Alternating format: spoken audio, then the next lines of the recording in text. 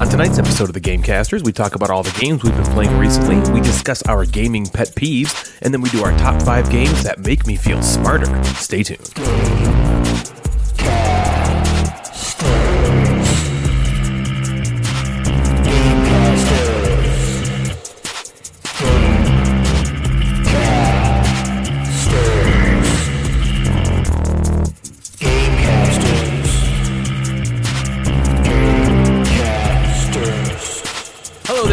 Welcome back to episode 29 of the Gamecasters. My name is Ryan, And I'm Natalie. and I'd like to take this opportunity to fully and permanently announce well, the announcement's not permanent, I guess it is.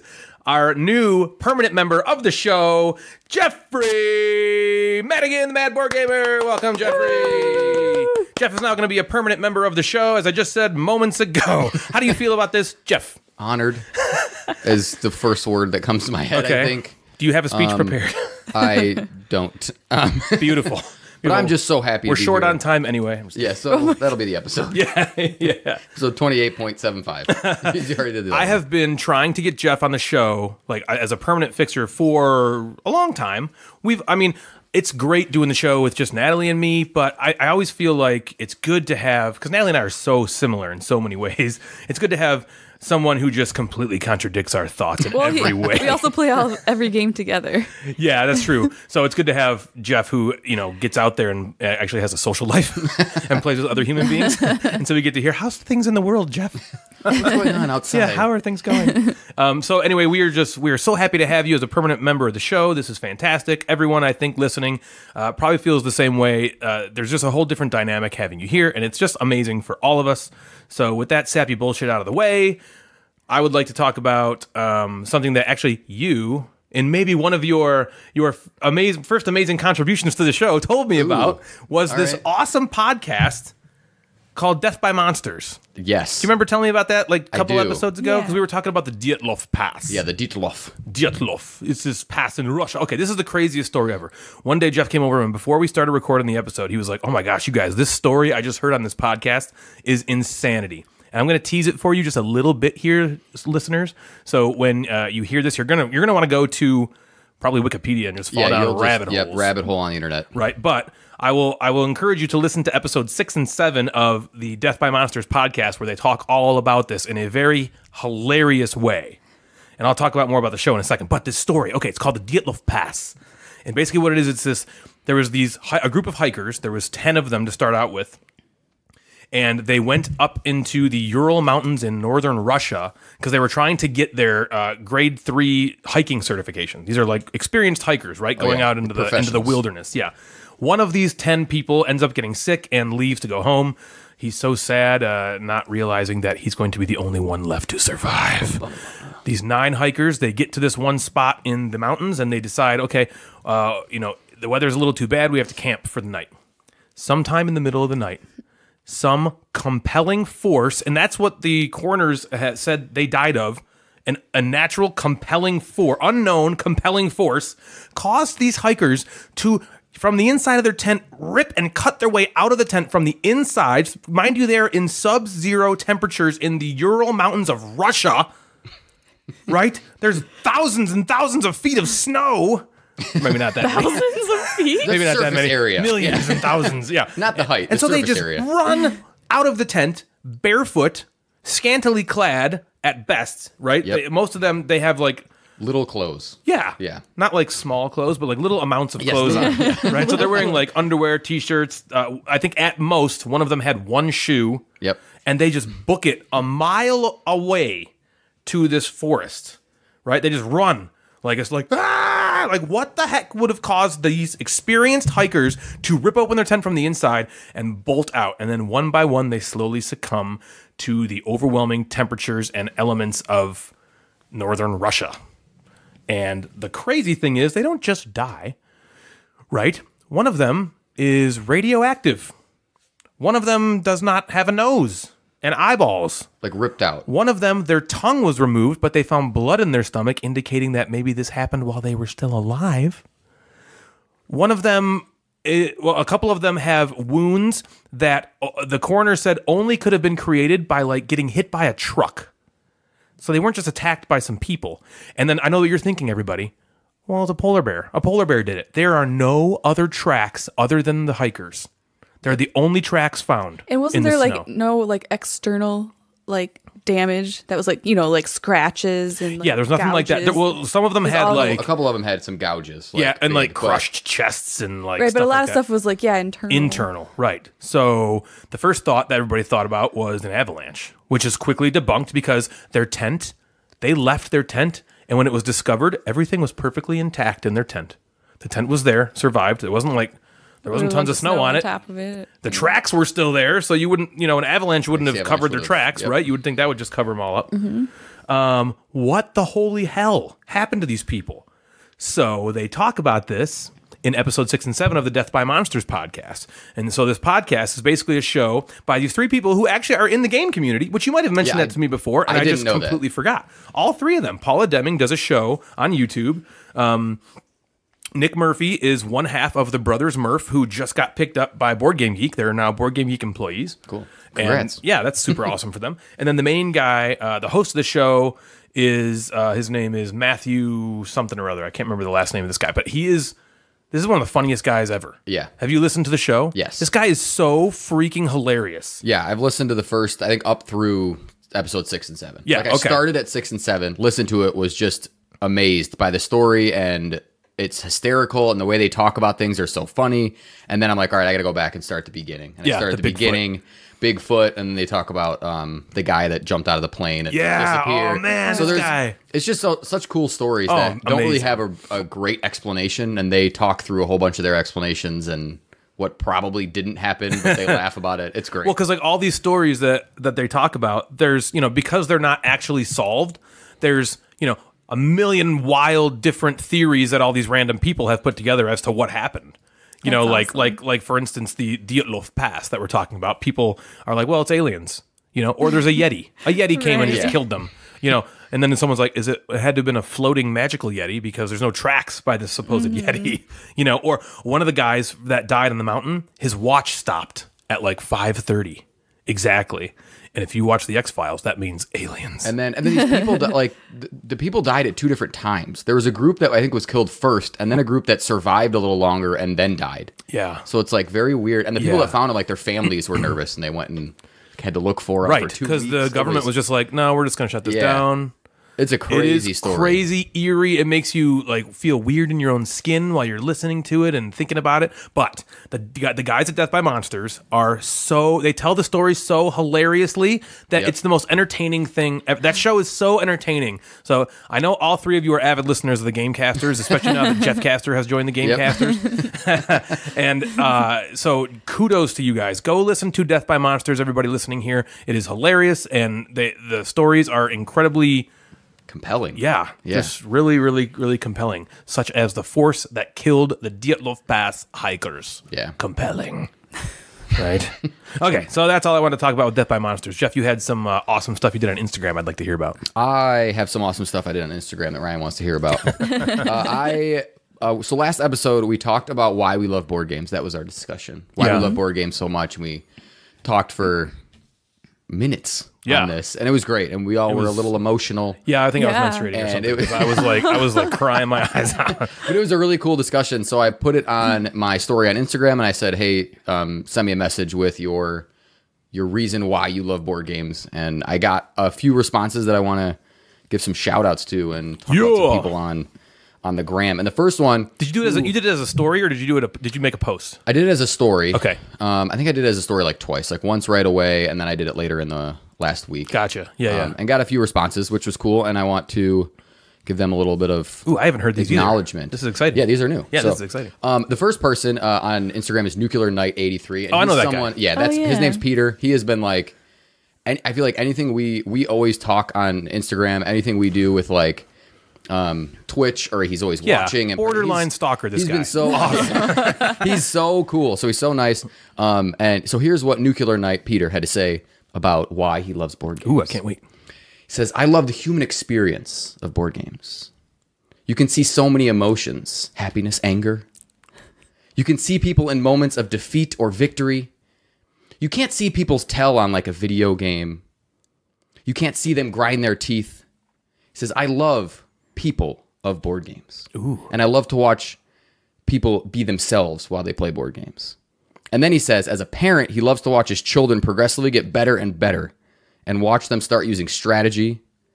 And he loves watching just people and his kids play board games. Wow. Which how cool like is a that? poem. Wow. I'd like to take this opportunity to announce that Nuclear Knight Peter is now a full time permanent member Yeah. of the Gamecast. Come on. yeah. wow. That was. Yeah. amazing. That's, that's a great response. And I thought of, I thought of uh, of you guys with playing with um, you know the kids and like Yeah. how how really they've they've come into playing different games Yep. and more strategic games and not just Mm-hmm. He's right. It is Yeah, so it's- amazing to. I mean, it's it's a it's an extension of watching a new player play the hobby, but when it's like your own child that you're getting into the hobby, I mean, what's more narcissistic than that? yeah You know, you are me. Do what I like. It feels so good. Yeah. What what a great response. yeah. So we got I got two more. All right. So I have uh, Jim Gamer, I think I know Jim Gamer. which I'm assuming his name's Jim. I'm making the bold That's a assumption that's a it's Jim. pretty big leap. Yeah, I could think. be I mean, So anyway, Could be so Kenneth. um, Jim also surrounds his answer around family. He says it brings my family and friends together in a way that nothing else can.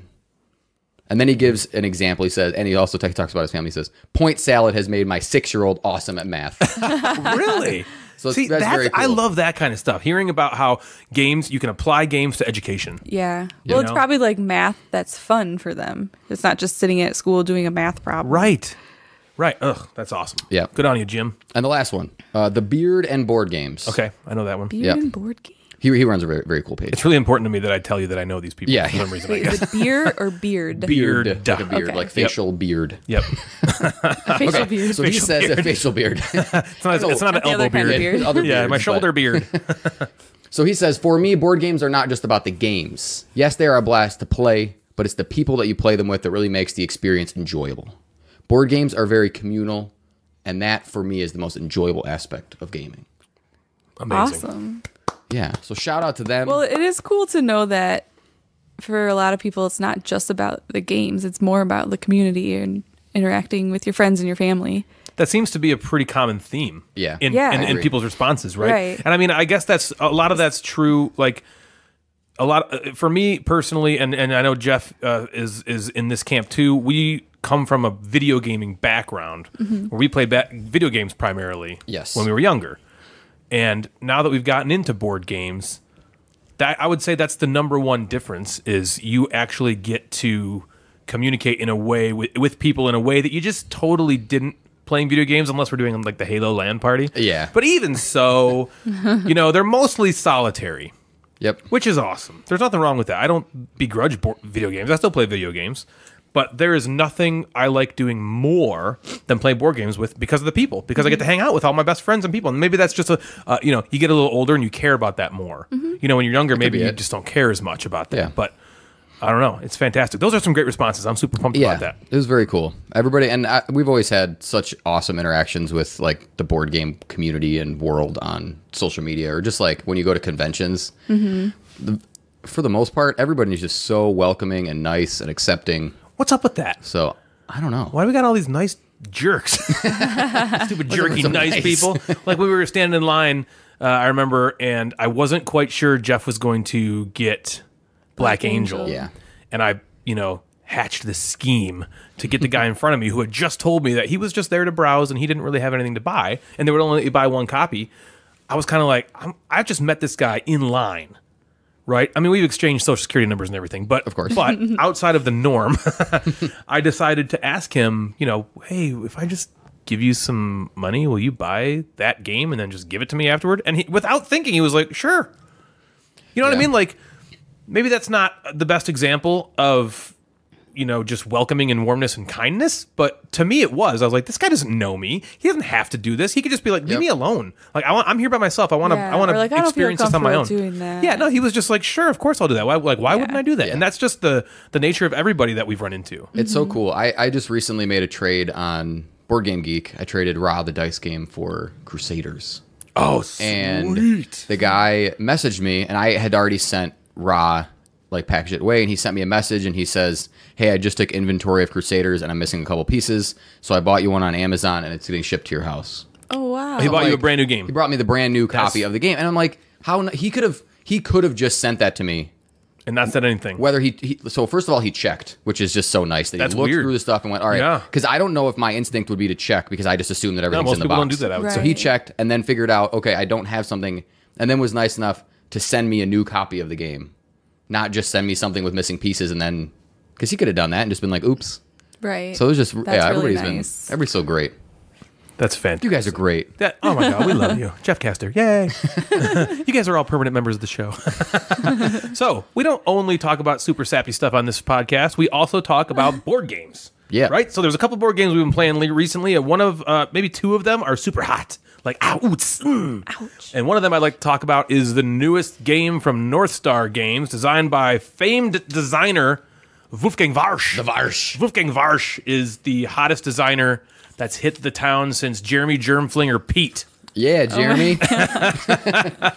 This guy, I'm still waiting for my Kickstarter shit, by the way. yeah, we gotta get you gotta get you back on there, Jeremy. Yeah. Um, so anyway, Wolfgang Warsch, this guy, I mean, what he can do no wrong in the board game. Like people just love this. Every de- okay, there are few designers I see. You know, he's designed a game, and I'm just like, I'm gonna get that game. Yep. Lately, for me, it's been like Alexander Pfister. Kind of has that thing, like boy. Maracaibo. I pre-ordered Maracaibo. Your boy. Natalie's boy, her boy.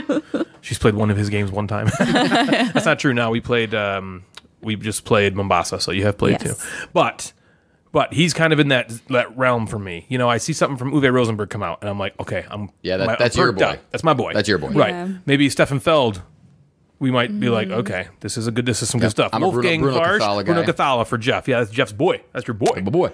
And Wolfgang Warsch has Who's the mind guy? Wolfgang Warsch. Oh. Yeah, so let's look. Exactly. So let's t- tell him a couple of his games. So Wolfgang Warsch has designed games at, such as uh, Ganz schon clever, which hit the roll and write you know community by storm, and there's been a shite ton of roll and writes. Usually, like how I just uh, Yep. didn't have to bleep Saved myself it. there. Yep. There's been a ton of roll and writes, and that one has kind of stood above the rest in terms of popularity. Right? He's designed the Mind. He's designed Illusion. He's designed the Quacks of Quedlinburg. All these games are nominated for like Spiel and Kenner Spiel des Jahres awards. He designed the the the hit game Wavelength that's coming out in Kickstarter I very soon. wait. Can't wait for that. Yep, I, it's going to be so great. asking Played that Ryan. at We Gen just filled. Did you fill out your Yeah. yeah shipping ad- address? Stuff? Yep, Great. it's coming in very probably in the next month or so. Yeah. And now he has the, also okay. He also designed this game called uh Dedoy dot Dasketall. What? No, he didn't. Tavernen of Oh. Tiefenthal. I was like, The Blurgen Schaberger Bergendal. So I see I see the game and it's in only in German and I'm like uh, this would definitely show up on my I don't know how to pronounce that list. No clue. Right? So um it comes out and I'm like, okay, finally gets an English release. And it's about the exact same name. The Taverns of Tiefenthal. Right? Okay. So this game, uh, Jeff and I have known about this game for a long time because it was announced and maybe out in Germany almost right after Quacks Yeah, came out. I remember looking for it a lot. Yeah, talking. we saw it. and We were like, oh my god, we we must have this. This looks it looked amazing. It's got these like things in the board you can like take out. It's got dice drafting. It's got deck building, and it just looked so freaking sweet. So uh, it finally got an English release. Natalie and I picked it up immediately, and we played it three times over the last few days or so. And it kind of feels like Quacks in a weird way, um, because Qu- while Quacks has that push your luck element of the bag building. Didoy dot the Dasketall has this deck building. it's like push your luck with the deck building. That building. can't possibly be what it is. It's not that. It can't be. I've heard him say that before. Okay, say it again. Didoy, Didoy dot the Dasketall is from Doug. That's what like, Thought. Doug Doug is doing it. Yeah, yeah, that Doug. Right, Doug Funnie. so Yeah, he's doing a Doug Funnie. ventriloquy act, and he doesn't know how to do ventriloquy, so he has this little book, and it's like, if you want to say a B, just say D, so your lips don't move. And he's like, so for instance, the boy bought the basketball would oh. be Didoy dot the Dasketall. Oh. and so then he like he has this like in his mind, he's like. In stage on a stage in front of like thousands of people, and he just has a, a dummy, and all he all, he's, all he does is go Dadoy dot the basketball, and then the audience is like, ah! so I How do see you the remember tavern in lines from Tiefenthal. Doug? I'm a weird, weird person. I know. It takes a weird. Person. Doug is person. great, though. Yeah, Doug It was is. Patty great. Mayonnaise. I loved Yeah. The Doug, beats. but I Patty, don't you're the pickle on my remember any mayonnaise, and Patty, you're the episodes mayonnaise for me. Whoa, whoa, specifically whoa. and lines from them. Patty, you're the mayonnaise for me. you are the nematode that I bagged. You're the ne- you're the nematode to my Mr. Dink. I don't know. Anyway, okay. So Mr. um, Dink. I the remember. taverns Yeah. of Tiefenthal again, it kind of felt like Quacks of Quedlinburg for me in that way. I, I didn't expect it to, but I've heard people say, you know, it kind of feels like a like a variant of Quacks, and it kind of does. Here's the thing: um, I didn't really have a ton of fun playing it. Quacks is far superior in my opinion, and you know my thoughts on Quacks and how Frustrated you True. get? I can get very, very frustrated. Right? That's because you're too risky. Yeah. Well, maybe. You're a risk Um, so the Taverns of Tiefenthal, uh, what I thought about it, it's got a lot of everything about it seems fun, like really fun. I read the rules and I'm like, this just seems like it's going to be a blast. We played it the first game and the mechanisms are you know playing out. And I'm like, okay, this is this is feeling good. And then I never ascended to that great fun time. And then I'm like, okay. So I'm like, we well, we played it again right after because it's fast. With two players, it's very fast. I could see it. I Like could see it being yeah, like, like a half hour fast, maybe a Maybe little, bit longer, but maybe like yeah, 40 minutes, Not that long. but not long. I could see that time increasing with three to four players, you know, with more players. Mm-hmm. But we played it, and I'm like, let's play it again. He said, okay. We played it again, and it was worse. So here's why. You start with a hand of cards, and you building your deck. And basically, what you do is you're playing cards. Uh, on your turn, all you do is flip a card up, and whatever the card is dictates where it goes on your player board. So if I flip the card up and it's a it has a beer on it, it goes next to this beer thing. And then I flip another card and it has a guy sitting at a table. I put it at the table, and you, you start with three tables. As soon as you flip your third card uh, that has a guy sitting at a table, you stop. So it's kind of push your luck that way. You're not you're not really pushing your luck. It's just luck, right? So if the first three cards you happen to draw are guys sitting at tables, you're gonna have a pretty boring turn because you didn't draw any other cards that And do you want to anything draw the other ones. You want? You because want you to want draw to draw as many cards as you want, and here's why: because there's a bunch of different spots on your player board that you're going to take actions with. And these cards that you draw supplement those actions, okay, or help you. So the game is centered around dice. It's a dice drafting game. You take four dice and you roll them, and then you pick one. And then you give that to the player on your left, and then they pick one. And so you're just, at the end of it, you have four dice to pick. These cards, like I said, supplement your dice in other ways um, and help you get more things and do more stuff. because there's, more dice, there's really two currencies in the game it's money and beer. And you're using money uh, to buy some cards, using beer to buy other cards and get points, and it's just a you know get the most points kind of game, right? Right. It's trying simple. to get those nobles or whatever they are. yeah, yeah. So there's these noble really cards, main and that's the whole point. point. Yeah. Draw. Think like the the main point score cards in Dominion. You know, there's really you're playing the whole game just to get these gold. These big The duchies or whatever they're called. cards. Yeah. Yeah, you're just trying to get these, and so eh, I don't know how to really even explain. It wasn't very fun. It was very. It got. It felt samey after three plays. Now, granted, there are more modules to play with, and we added a couple of them on in our third play, but it did not change the game enough I for we me. didn't end up we did. them. Yeah, we did. We added two, but they were like really nothing. They didn't do much. Oh yeah. Okay. Yeah. So they didn't really add a ton, and as you can tell, Natalie forgot what we even we even added them. And I don't know, it was very lackluster, and I was very disappointed. It was very lackluster for me. What about you, Natalie? What what are your thoughts? Um, I remember the first time we played it. I I liked it and I was wanted to play it again. I didn't want to play it again like, oh, let's give it another shot. Like I want to play this again right now. And um, the second time we played it, I probably liked it the same um cuz I thought it was a good game. You know, I I wanted to try and do better. I wanted to try to manage like your my money and my beer better. Um you know, She's a drunk. She drinks all that damn beer. after Manage the first after the first game i saw like kind of what you had to do you had to like like gather up as much beer as you can to get like really good cards or gather up as much money as you can to get really good like money cards or flip over your tiles Can I interject one second? The problem though is you're beholden to these dice. So you're Yeah, to activate the is the cards that you draw. th- To activate these cards, they have dice on them. They have like dice numbers on them. So when you when you like I said, when you flip those three cards up at the table, um, when you flip those up, they have a number on the cards. Like it'll say a one, a two, and a yeah two. And so you activate those cards by placing a dice of one, two, or two on there. But if you roll threes, fours, fives, and sixes, you cannot activate those. Right, you can't And even so use you your dice. Can't do anything. with yeah them. that is i'd say the frust- Hmm. most frustrating part is the luck part you know if you pull out cards that don't really like give you much then that kind of sucks and if you roll dice like a bunch of fours and you have nowhere to place fours or you have a bunch of fours and there's one spot to place a four and then the rest are just wasted i mean that never happened it for me a few times i've was not able to use one dice out of my pool of dice, but it still was, you know, it, it was crappy when Yeah. that happened. And I think that's the reason that you got frustrated, you know, that things like that kept happening to you. And you're like, I just want to like play my turn and nothing's coming out for me. Nothing's coming out right. Um, but I mean, I liked it the first two times, and then I will say the third time, I felt the same as you. I was like, okay, now that this is the third time playing it, it does feel kind of samey. And um, mm, I'm not sure if those modules would change that or not, but I kind of felt like I'm good. Like, I played this game and I liked it, but I mean, if I had to rate it, going on like the Ryan James rating scale, I'd say it's like between good, good. not great, and oh my god. You were just saying medium. No, I was wrote. I wrote between good, not great, and great. So medium, great. yeah, for me, Medium it gets a, it gets a pretty solid good, not great, which is a seven. and the reason it gets that high um, is is because I think that the game is designed fine. I don't think it's broken Oh, in yeah. any way. I It's- did like it. I, I think there. I wish they would have done something where you could just place any die anywhere. Like they had one space. It didn't give you that much, but if you just rolled crappily, like Natalie talked about, you have a four. There should be there should be a space on the board where you can put any die and just get like one coin. Yeah. there's Well, a space that does that, There's but you can only for- put one die there. right. You So there's like a, die- a number of dice space you for you can put any die to get a coin, a space you can put any die to get a beer. But if you've used those two spaces up and you still have dice you can't use, well then too bad. Yeah, we had a couple turns where we both rolled like five fours.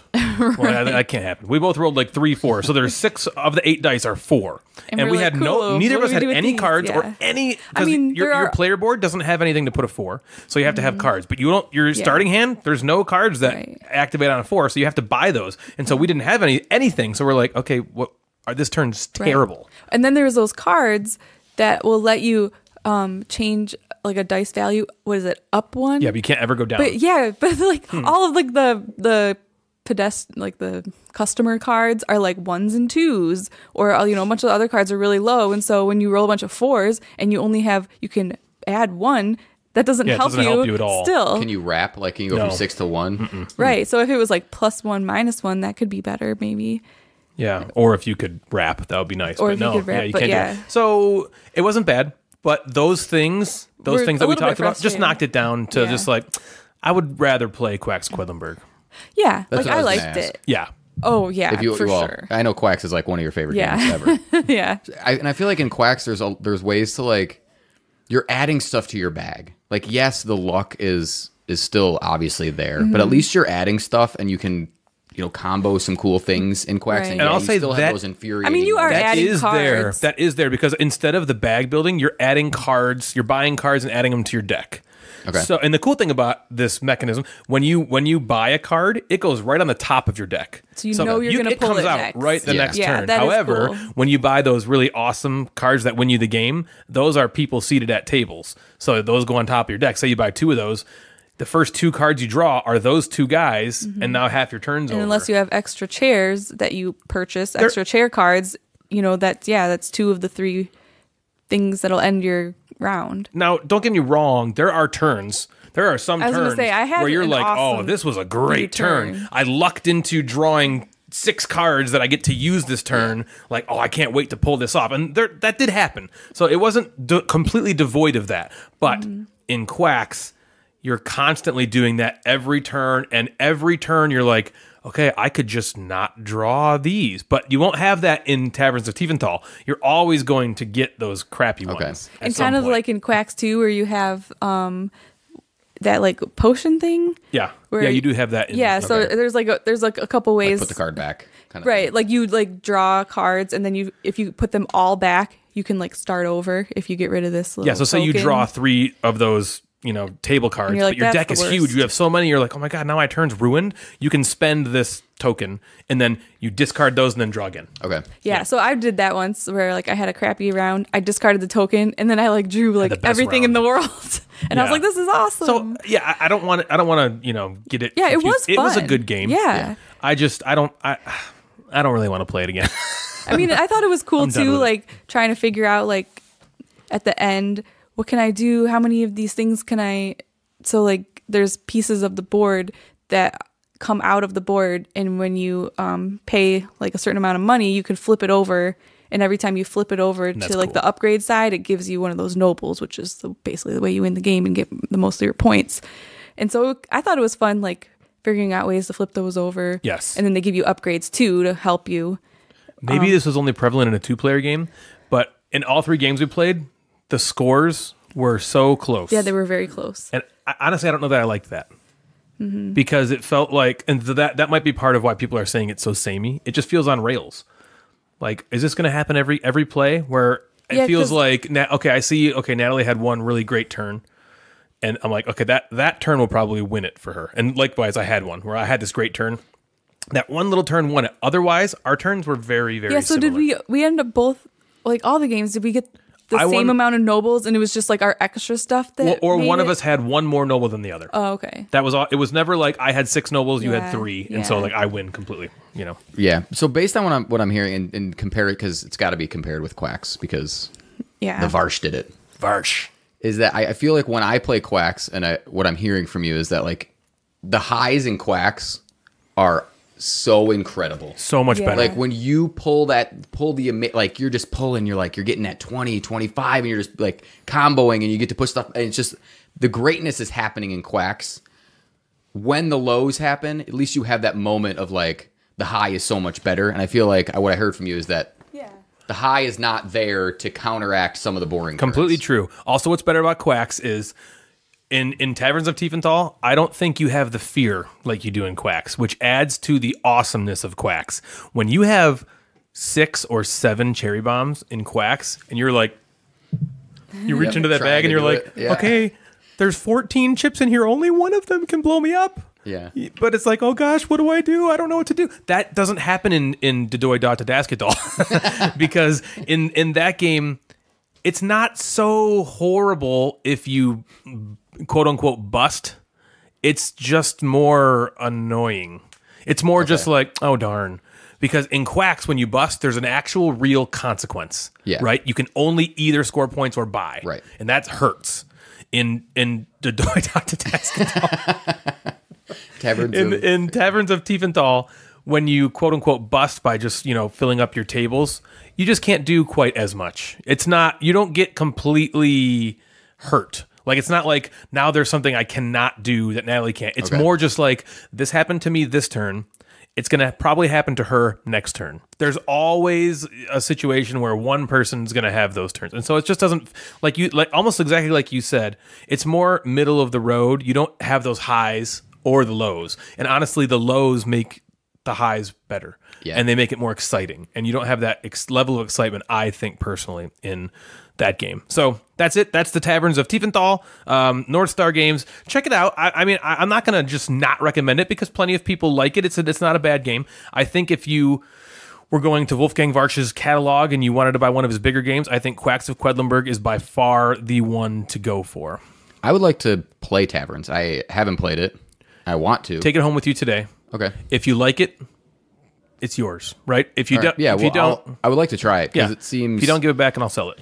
All right yeah it's something that i would like to try because i like the Warsch Yeah, Warsch. and I like everything he really puts out. So Yeah, I, I can see you liking it. Yeah. I can see you completely liking it, and I, I, I'm not trying to color your, you know, opinion of it, but that's just how we felt. yeah. So and it's got to sit. It, what's hard about some games is it has to sit against other games that he's made, and if it doesn't compare Yeah, to Quacks in that way, I, if I'm gonna pick Quacks every single time, is that game gonna stay in the collection? truly, I think you will. Yeah. I don't know that it does I'm enough try it. different. Yeah, I'll try go it. in fresh mind. Like I said, take it home and and and Uh, try yeah. it on.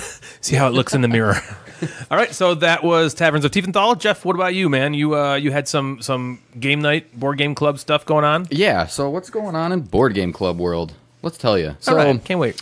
we, the board game club has met with now our Missouri people at Brittany Woods Middle School. No, no, no. Missouri. Missouri. She hates that. She does. Yes. Why? So what's funny? So um, I don't Lydia, care. Miss Waymire, This is my Miss show. Waymire, she sends me this message and she's like, "The episode's great. It's cool. You're talking about board game club." And she's like, "But that Missouri thing." I'm like, "I'm like, do people actually call it Missouri?" She's like, "Yeah, in like rural."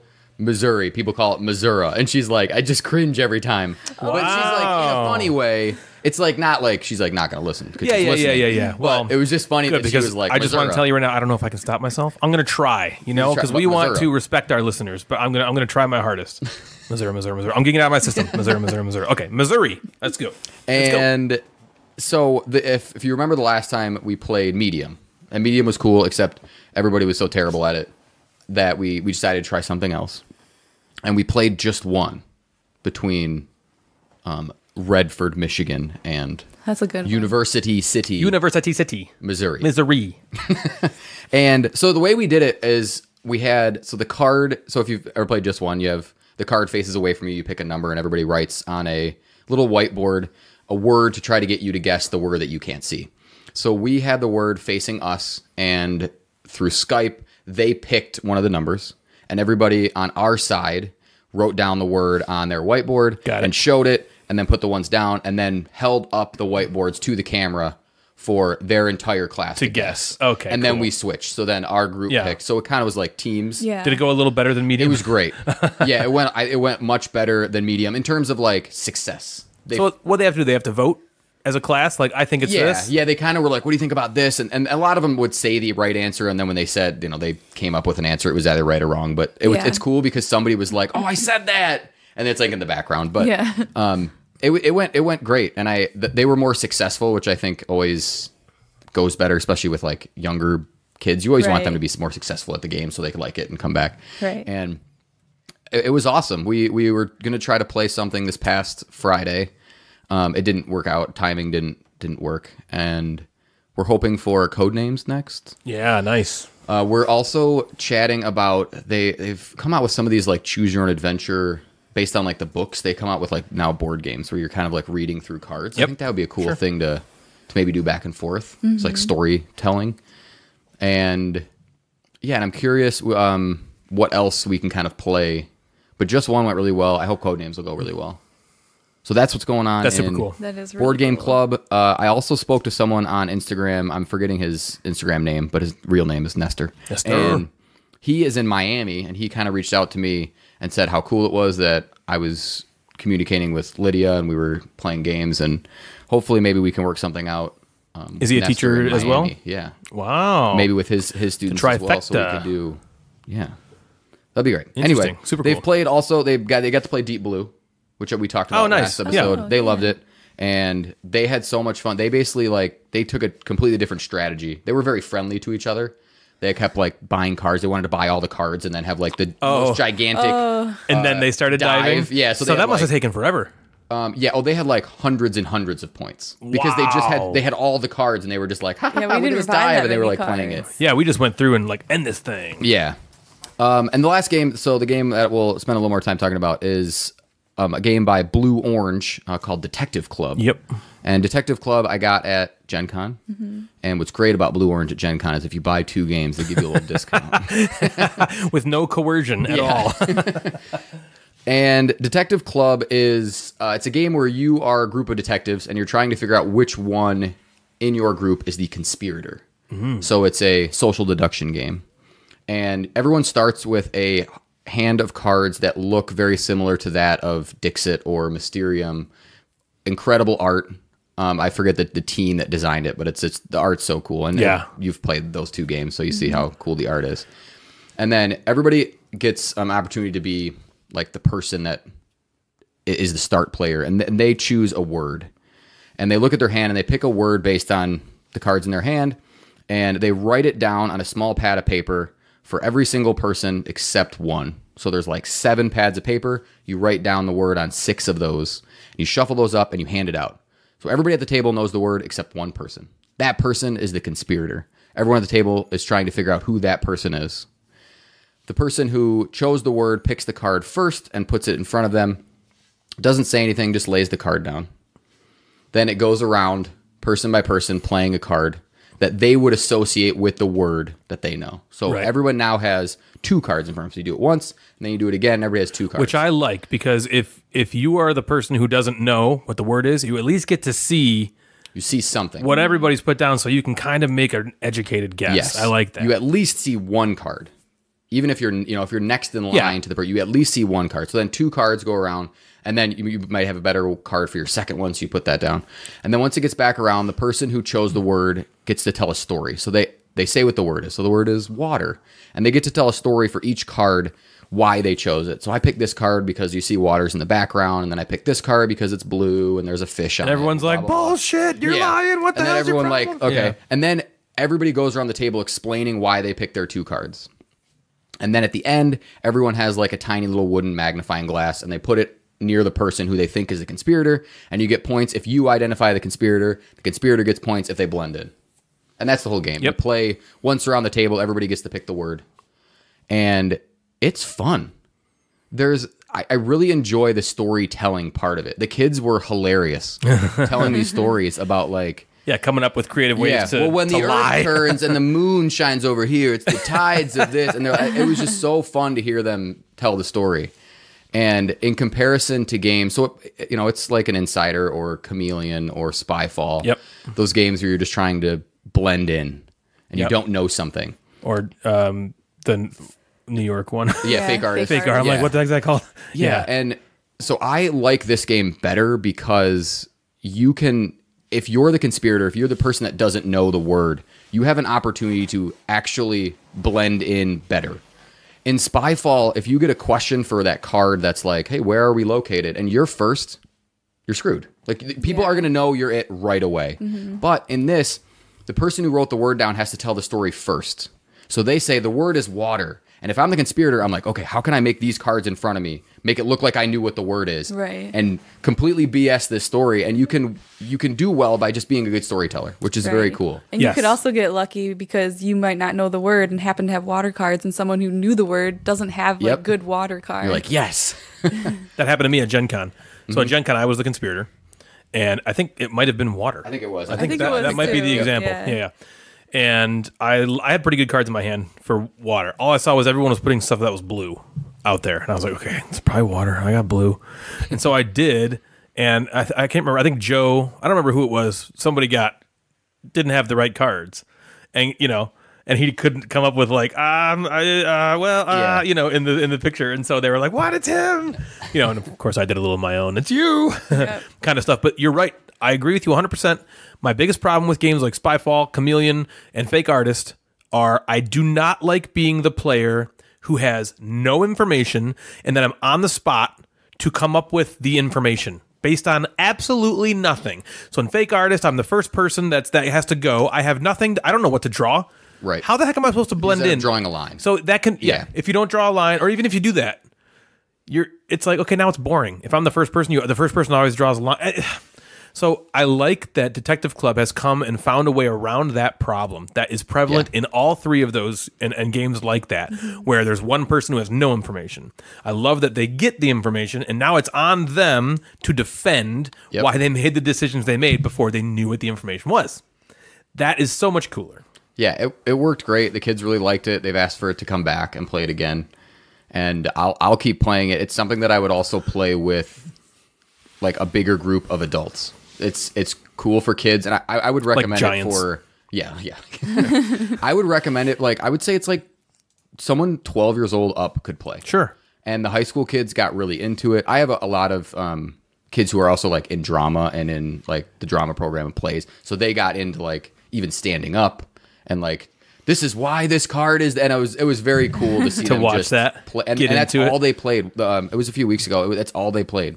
That seems like that kind of game is yeah. right up those kids' alley. Yeah. Yeah. They like the social. I mean, how They don't they? social Don't you say they still play the Resistance? They still play Avalon. They still play Resistance. They they even played Chameleon two days ago on Friday. They they love those social deduction games That's so because they like being with their friends and mm-hmm. playing those games with their friends. Yep. Yeah, that And age, it's a great one. Being with your friends is like the most important. The only thing you want to do. Yep. and then you get to be the funny one in the group, and then everyone likes Yep. that. You know, Yeah. so that's awesome. So that's was Detective cool. Club.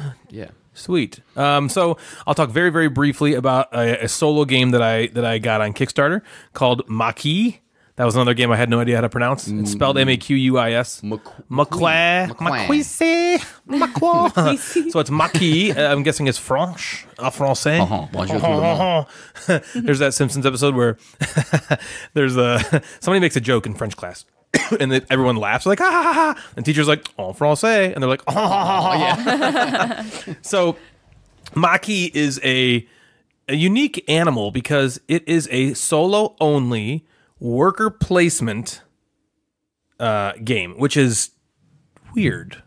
Weird. Weird. Rare. Yeah, very rare. Worker placement is not something you typically see in a, a solo game. There's solo variants of some worker placement games, but this one is specifically a solo game in design. So it only plays one. Only one.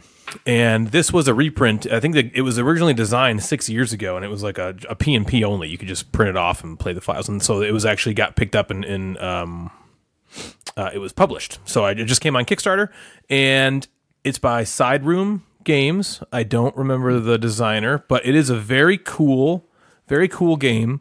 So basically, it's so simple. Basically, you have a map of uh, I don't know if it's Europe or whatever it is. Okay, Natalie got it for me here. Thank you. The designer is Jake Staines. right? Yeah, Jake Staines. Okay, Jake Staines from Side Room Games. And so basically, what you do is you play. You have three workers. You play a worker, and then you draw a card, and the card is basically the the AI's worker. So it's basically like you're playing a two player worker placement game, and you're just drawing a card for the AI. And so you're essentially taking actions from these spaces on the board and the game is coming out taking other actions you know take both one taking spots that you want to take and it's also if you can't ever draw a line back to the home base from where your worker is because one of these other workers is in your way then that worker gets arrested and removed from the game. And if ever your workers are all removed from the game you lose. Um, there's a couple other ways to lose as well. The, the way to win is you just have to complete these two mission cards. And that's it. It's super simple super quick. I mean it's it's like it plays in I don't know, 10 to 15 minutes, and maybe that's Oh, that's cool. You know, it's very, very fast, and that that drew me to it. It plays really quickly. A worker placement's a fantastic mechanism I- that I enjoy. That you know, most people I would say enjoy, and I'm always looking for you know, if I don't I I don't play solo that often, but I'm always looking for a solo game to grab me. You know, like a few have Friday from Friedemann Friese. I love playing Too Many Bones.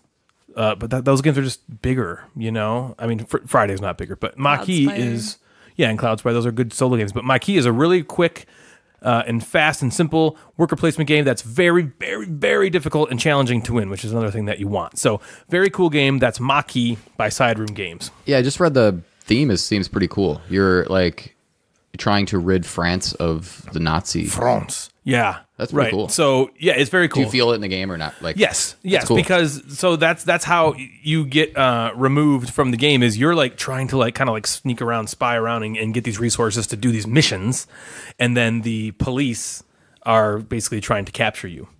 Now, there it's it's pretty random. I'll say this because because there's a deck of cards, and the card flip is where the enemy's workers, the game's AI, is placed. So could just be in the wrong place. you can time. that and that happens a lot. You're just in the wrong place at the wrong time. But as you play more, and I've played a couple times now, you see little ways to mitigate that. At first, when I played the first time, I was like, "This is just a random nightmare." It, if you don't win after the fifteenth turn, you that's another way to lose. And I was on turn five and I lost. And I was like, so it wasn't it wasn't even five minutes. Oh, I was like, this sucks. Like this isn't fun. And then I kept playing it, and I was like, oh, if I would have just done this, the little tiny ways to manipulate Cool. the game. And so it kind of brings out like nuances that weren't there. So very cool game, Maquis. Maquis. Yeah, I like Maquis. Nice. We also got another game that was my most anticipated game from Gen Con. And it oh, it, it was I thought it was available at first, but it was just a demo. Oh yeah. And so I pre-ordered those it there, and it's called Mechanica. And this is by the same people who did Visitor from Blackwood Grove, uh, which I still haven't played yet, but same same publishing house design team. And this is a very interesting game where you basically have your own player board and you have these little little robots. And basically what you're doing is you're creating these robots and then you're sending them through your player board uh, off to trucks to ship them out to people. so you're like creating these robots and that, that are useful in, in the world, right? But the cool thing about it is you start with these little robots, which are only worth a couple dollars, and they don't really do much for you. But there's these mid-weight robots that are like bigger, you know, point value, and then there's these big robots that are like the biggest money in point value. And the way to get those robots is to basically turn the little robots you have into them. And you do that by way of these puzzle pieces. You're putting puzzle pieces on your player board and you're interlocking them in these different ways to basically um, move the direction of these conveyor belts, which is where your your robots go to. So at the beginning of your turn, you just take your robot that's at the left of your player board and you move it along the conveyor belt, and it, it'll just get it'll go as far as it can until it stops, and it stops when it reaches a puzzle piece that has like a cool ability in it, or it'll stop when it reaches a truck to sell it. And it's it's this game is really interesting, and unlike uh, pretty much any game I've played before, wouldn't you agree? Yeah, there. Natalie. I What do you think about Mechanica? Well, I had a slightly frustrating first play of it because I placed um, puzzle pieces in spots that didn't like when I tried to place other puzzle pieces, like nothing was like kind of flowing correctly the way I had it set up. Um, so I definitely would, I definitely want to try again and maybe do better. But I can totally see how if you had like a good flow and a good setup going, how it would be so awesome and like feel so great. And I think that my favorite part of the game is like you said that it's really unique and different and interesting um, in the way that you're like building your own like Engine. engine, I guess, and and trying to like um, output as many of these robots as possible to get as many points as possible, and then even just the way that you get the puzzle pieces by turning Um, that little dial. that little dial, and like you can, you know, if, if it falls in the hole, it recycles. it recycles, and it's just So- it's just really different and interesting. Do you remember? You remember Palaces of Carrara? Yes. It's got that resource wheel. Yeah, I love that So yeah, you turn, you put these resources on this wheel, and then the the amount of money it costs to get these resources depends on where it is in the wheel. And when you turn the wheel, they uh, gradually get cheaper. This this game has a very similar thing. You're basically it's a tile placement game at its heart. You're playing Yeah. these puzzle pieces; those are your tiles onto your board, interconnecting them in different ways, kind of like Carcassonne almost, where you're trying to connect them to you know in a certain way that makes sense that gives you the most points. And the way you get these puzzle pieces is they're on this wheel. And so you might see this piece that's like, oh, this piece is a duplicator. And if I put this here, whenever my little robot goes onto it, it'll create two of itself. And then if I put another piece next to it that's an upgrader, those two robots will now turn into the two big ones. And so you have to put them next to each other in that way. But you're taking the pieces off of this resource wheel that spins, just like Palaces of Carrara. And so you might be like, okay, this one, I want this so bad, but it costs $7. And that's my that's all of my money and so oh, I have to, you know, hopefully wait a couple turns. At the end of your turn, you you rotate the wheel. Okay. And so you know it can get all the way to only one dollar, and then it gets thrown away. Um, and then it, if yeah, gets and then the the- point when it goes, gone. yeah, when it, goes again, it just it falls in a falls into this hole, hole. into the box. Oh, that's cool. Yeah, it's really cool. Yeah, But another cool thing is that the box is basically like the Part of the game. the tray that holds everything that you're not like using on your player board. yeah, if we took it out to play it right now, it is set up. yeah, it's really cool. All I do is I give you your player board, and then the game's ready to go. That that is I was going to talk about that too. That is one of the coolest things about the game. Mm-hmm. You you basically set it up for the next play at the end of your current play. So we played it the first time, and at the end of it, it's like, okay, here's the end of your game. idea. Here's what you do: you shuffle this deck, you do this, you do this, and now you're ready for the next game. And so we could literally just take it off, take the board, take the the box lid off, give each other a player board and you know our starting resource, which is a couple dollars, and then Yeah. one of those little robots, and then boom, you're ready to go. It's so it's Yeah, super cool. cool. It's super cool. So I really like it a lot. I want to play it again. I I, would love thi- to play I think you would Seems enjoy it. cool. Yeah, I think you'd enjoy it a lot. Um, engine building, kind of tile Mm-hmm. placement, kind of like figure out how to do the best with what you got, kind of game, and it's over pretty quickly. So I'm gonna give this one. If I had to rate it, I'm probably gonna give it uh, an eight off my first play. Cool. Um, I'd probably give it seven point five, but it will probably Yeah, well, because you didn't have the I think, best. Yeah, and I think right? another thing I realized at the end too was I didn't know what tiles um were out there. And so I was just at the beginning grabbing them, not knowing like whether Yeah. where I should put it, what it, what it could just- fit to, because I didn't know what other tiles were in the game. You'll And so learn at the end. I was like, oh, okay. I next time I would play this differently because I know what I could possibly Absolutely. put together. Once you play more, Yeah. it's just stuff like that. First game game's always that kind of learning experience. right. Like, Absolutely. what's in the ga- what's in the box? Right. So yeah, that's Mechanica. Very very cool. Yeah, it was cool. Yeah. How about you, Jeff? Anything else you've been playing? Yeah, I played uh, a game called Mental Blocks, which Oh, yeah. um, shout out to Pandasaurus Games. Pandasaurus. I won this game on an Instagram contest, That's this so cool. giveaway, which That's is so cool. super cool. That is cool. I just so I tagged um, my brother Dave in it, and oh, he won we- too, didn't he? yeah, so we played it at uh, Gen Con, and it- we played an oversized version of it. Right. It's got a bunch of blocks in it, and we played an oversized version of it. We both really liked it. We didn't buy it at Gen Con, and then I saw that Pandasaurus was doing a giveaway. I tagged him in it, and they picked my name and they gave it to me as well as the person I tagged. So me and Oh, that's Dave now have a copy So of Mental cool. Blocks, which is very cool. So thanks, Pandasaurus. And the way the game is is uh, there's a bunch of just foam blocks. Uh, they're triangular triangular prisms. Would that be right? oh, they're foam in, in the regular game too. Yes. I thought the foam was just for the oversized. The oh, game. no, it was it's yeah, it's the foam. Oh, so it's like a hard foam. So they're they're triangles, uh, rectangles, squares, all in like prism forms, and then there's bigger ones and small ones. So there's two different sizes, and then four or so different shapes, and you're working cooperatively, and everybody gets a card that has one side of the structure that you have to build as a team. Oh, it's like a three dimensional strut, but you only see Yep. one 2D So if there's side. 4 people playing, which is what we played with, um, uh, we played four or five times, but that's what uh, you're making one structure, and each person has one of the sides, not Oh, top cool. or bottom. And so you're saying like my side looks like this, but their side looks like that, and you're trying to like maybe move around the table to figure out what side's yours, and because if you orient yourself in the right way, it makes it a lot easier. And you get 10 minutes to do that and it's really fun. Like you're working. I love the the spatialness of it, but what I like most is that it's spatial, and I don't have to do it all by myself.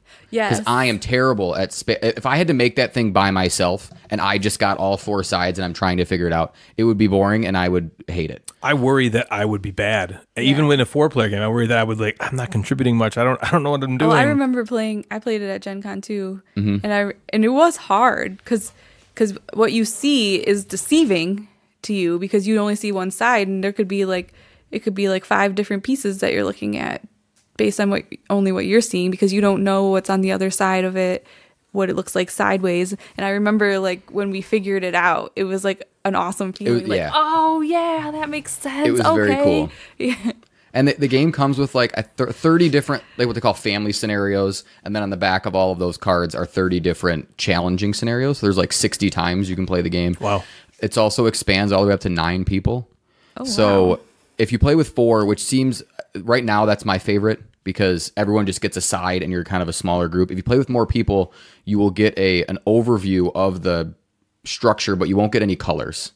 So the blocks come in four different colors, and they'll get an overview and be like, "Well, it looks like this from the top, but I don't know what color the blocks are." I like the idea of just the four people trying to make that that one structure, and that that's four more. And then if you get to a ninth player, there's actually you can add in a like a traitor, a saboteur who knows the answer and is trying to stop people from making it. What? Um, seems and there's also some pretty cool variants. Like you can have little um, restrictions, so you can get your side. So I see my one side, and you can also get a restriction that says I can only touch triangular blocks, which we played at Gen Con. If you remember, we're all like Right. picking up a triangle block and flipping the square ones around to try to move Right, them. that's right. Or you can't talk, or you can only touch small blocks. Um, it's it's fun. It was very cool. It's very light. I think it's a cool family game.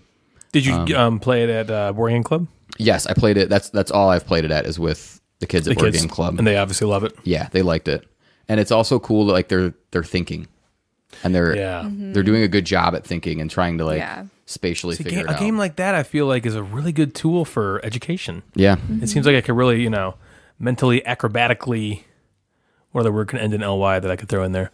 lovingly. Platonically. is this mad? Is this mad Mad Libs yeah, again? right. Yeah, right. right. Uh, that seems super cool. Awesome. So that's mental blocks. Mm-hmm. Natalie, do you have any other games you want to talk about before we launch into our amazing topic for the week? Yeah, let's talk about Code 777. Code seven.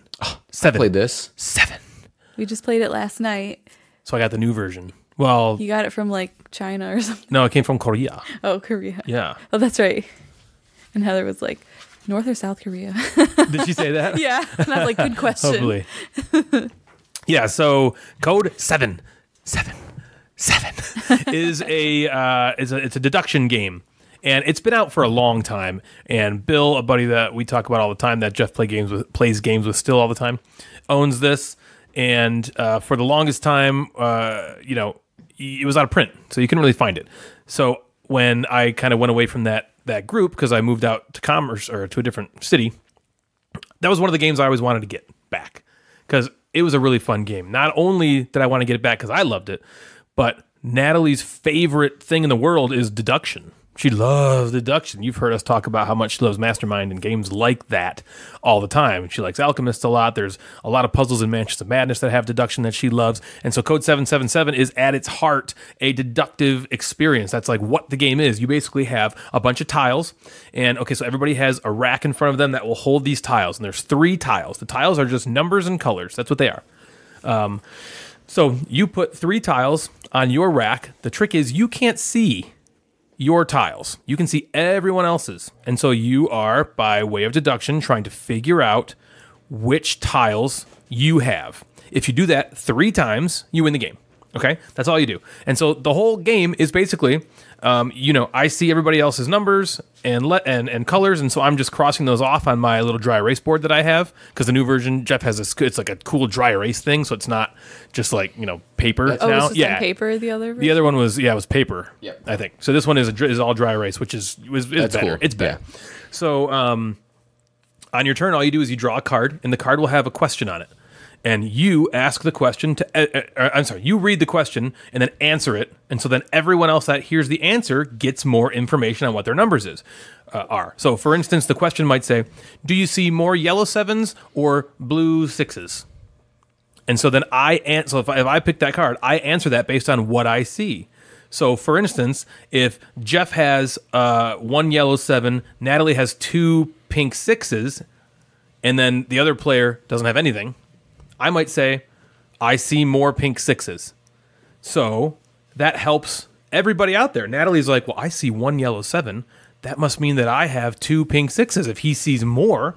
And then Jeff, you know, similarly, well, I guess that doesn't, he might think, actually, he might not learn much there. I probably right? wouldn't learn much, Yeah. but yeah, that would but, help. but that would definitely help Yeah. now. Yep. That would definitely help now. So that's an example of how you know it help. So, but it doesn't help the person reading the card at all, Right. Because they already have all the information that they're answering on, Mm-hmm. right? So then you know that's all that happens, and then whenever you think you know what you got, you just stop the game and you're like, I think I, I think I got it, and then you say the numbers that you have, and you're either right or wrong.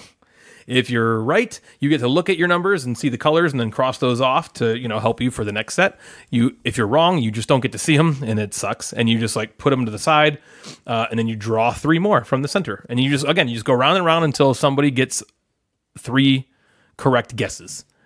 And so that's the game. And it is super good. I like it a lot. Um I again, I, I really, I'm really interested to hear Natalie's thoughts on this one because I bought it with her in mind because she loves deduction. Yeah. So we played it last night. And just the two of you? No, it was we had Brian and Heather over. Oh, great. And so the four of us played. Yeah. And Natalie, tell us how you did and what you thought. Um, well, because I love deduction, I actually did love this game, but I did so bad. Aw. I think I got like a little cocky because every time, every time I like thought I, I was like, got it. I was like, I'm gonna guess, and I probably guessed four or five times, got them wrong every, single time, time. and I was the only one. one. who had zero when the game ended. But it was still really fun. Like I was like determined. Like when it was over, I was like, "That was fun. I want to play it again, and I want to do better." But I, you know, yeah, we moved it was on to long another and game. yeah but- we played other games but i want to play it more really badly And one because thing- i did like it i would i think i know what i did wrong and i think i was just a little too like sure of myself and i was just got it wrong every time Get off your freaking high so i never there, got to even see my tiles Natalangus caster. Yeah, that's we so funny. we recently played this game too, and I think Natalie, someone that would sympathize you with you is Joe. Deep, Deepwater Joe. Deepwater Joe. Me, Bill, and Joe played that game, and Joe was just miserable. I'm sorry, Joe, and you know it. Uh, and he know he's like, I don't understand why I did so poorly at this game. But and, and one thing when when you're wrong, not only do you not get to see your numbers, but now everybody else gets to see More three more numbers because you draw them from And the you're, like, pile, and you're like, starting cool. So you got them wrong, and now Yeah. I get to cross three What a more. great off my- candidate for this game makes me feel stupid. Joe said that that would be on his list. After one play, he was like, "That was rough." yeah I can see. So I had a great. Conversely, from Natalie, I had an amazing play. Mm-hmm. I won, and I I didn't get it wrong ever, right? Because Josh wasn't in my ear chirping at me. That's why. Josh. But I could see. I, I felt so bad because Natalie would guess, and every time she was off And by like, one, oh, and I'm oh. like, oh, and she could just tell that she was like. but yeah, she was right that she got a little cocky. The first, it was like we went like three cards I'd gone by. She's like, I know it, six five three. And I'm like, no, honey, no. i'm like what yeah, it has to be and then, uh, yeah, she was getting to the point where she was like, one of you had to be lying. You're She's lying. I was like, was someone Yeah. wrong when they said it was more than 18? And they're like, no. And I was like, oh. I love that game. I think it's fan. I'm glad we got it, and I, I really do want to play it with you more. And Me I think that you'll. I really want to. Does it play How many- past four or just four? Uh, five. oh, PS five. yeah, Okay. PS Oh, five. we should bring it to work game night. Sure, absolutely. Fun, fun stuff. That's So good that's it. Code seven seven seven. Did I say enough Seven, sevens? seven, Seven. seven. Three Too many sevens. Three sevens. Code seven seven seven. Yeah. Jeff, anything else? 777. Uh, something really quick. I want to revisit. You guys already talked about the Artemis project. Yep. Oh, yeah. Before. You know what? I don't know that we ever Um, talked about it on the show. Really, I thought you sure did. we I know we maybe we did. I know we put, I put it on Instagram and kind of panned it a little bit. Maybe we did talk about it. I felt like you might have. Yeah, maybe we did. Let's, But anyway, let's hear. Let's hear. just about it. real quick, just revisit. So I got to play it with four people. Um, it's a dice placement game. You're you're developing and you're developing the moon of Jupiter called Europa, which Jupiter has a whole bunch of moons, I think. Um, Probably. And you're on this one, Europa, and you're you're placing dice on one of these seven. you're placing dice on one of these seven spots to either like gather resources or build buildings or go on missions or get more workers. And each spot has its own different place of how you can place dice or what it does for you. So not to get into the game deeply, but I know the two of you guys didn't enjoy it as much. Yeah, I remember Um, thinking it was good. I remember, th- and I also remember specifically saying, like, I, I don't think this is good for two. I think, and, and I was like, you know, because of that, we're not going to probably play it all too often with a bunch of people. But I think it's it's going to suffer a little with two. Yeah, Yeah, um, I remember that. And I remember also we were just we were just yeah, like you said, we were just kind of like, ah, I don't know, it's not blowing my hair back. So I we played it with four, and I I really enjoyed it. I don't have so I've played Alien Frontiers. It's been a long time, but I, I think this game is going to get compared to Alien Frontiers. That was what I that's- thought of, yeah. and I don't I don't have Alien Frontiers, and this is a game that I don't have a, a game in that genre. In Yeah, that for realm. sure. And I really liked it, and I know even even Dave, who um, doesn't Donkey love. Kong? Yeah, he doesn't love like worker placement games. He liked this game a lot, and I I enjoyed I enjoyed trying to figure out, all right, how can I get my resources to build these buildings? How can I put this dice here and push this dice off so they don't get any resources and I get something? And I never felt like there was too much take that. I didn't feel like Yeah. That I didn't feel like my turns were ever ruined. Yeah. But it was tight enough that I, I had to I had to plan properly. I agree with you. We were worried about that. We were Yeah, worried about the take that we part because that's what a lot of people were talking about. And I didn't feel it either. No, and, and the only there was one thing. Bill had a building that was specifically targeted at someone, and he could pick someone to discard some resources. But what that did for me is like, all right, I'm going to spend all my resources before Yeah, he gets a chance turn. to And ruin every, me. every time I was like, all right, I'm not. I, I'm to only have one or two resources left, and then his power is useless. Useless. Um, but I really enjoyed it. So that that was the Artemis project. I just wanted awesome. to touch yeah, on. it. that's great. about. That's is that Deepwater Games? no, that's Grand. Oh, I knew. I know this. Grand Gamers Guild. Grand Gamers Guild. Grand Gamers yeah. Guild. Yep. Right. Okay. Okay. I'm thinking of uh, another game that we didn't play that I haven't played yet. Yeah. Wreck Raiders. That's Deepwater Games. No. Wreck Raiders is kids table. Something is designed by Deepwater Games. Name a game. Joe Madigan is. Uh, Yeah. Deepwater. Didn't Joe just meet somebody from Deepwater Games? He Games? did. Oh, It's yeah. it's pretty cool. I didn't know. Welcome so deep. to. He said he is that Deepwater game Maybe. because he said he played that with them and But where did he come from? You know, where did he go? Where where did he go? well, where did he come from? Deepwater Joe. Deepwater Joe. So that's awesome. So Yeah. I'm glad you liked it. I kind of thought you might. Yeah. You know what I mean? There's a lot of games I play that I think that you'll enjoy. A lot of times I'm wrong and you don't. and a lot of times, uh, you know, a lot of times I'm I, when I don't like a game, I'm like, that's why, like the Doi Dot to Daskadal, I think you might enjoy that Yeah. one. So I'm, I'm excited to kind of Yeah. to kind of like lend it to you and see what you think. You I know hope what I mean? I hope you guys give like Artemis Project a sh- shot if we played it with four or five. Sure. think I that'd would be- play. I would play it again. Oh yeah, Yeah. me too. I, I wasn't like screw this game. I, I hate it. right. I was just kind of like you know, I don't think it works that great with two. It, or I should say, it was kind of dull with two. But the mechanisms are okay. Yeah. I just I remember thinking, you know, like okay, I, I think I like Alien Frontiers better now, and and they they kind of felt similar enough to me Right. that you know I, that's the one I decided to keep. So Yeah. awesome stuff. So those are a lot of the games we've been playing recently. Now I wanted to uh, launch into the topic for this week. So we're kind of going to do uh, a thing here and there where we're either going to do a topic or we're going to play a game because we don't really have time to do both because I am a long-winded mother beep, and uh, we are going to this episode do another topic.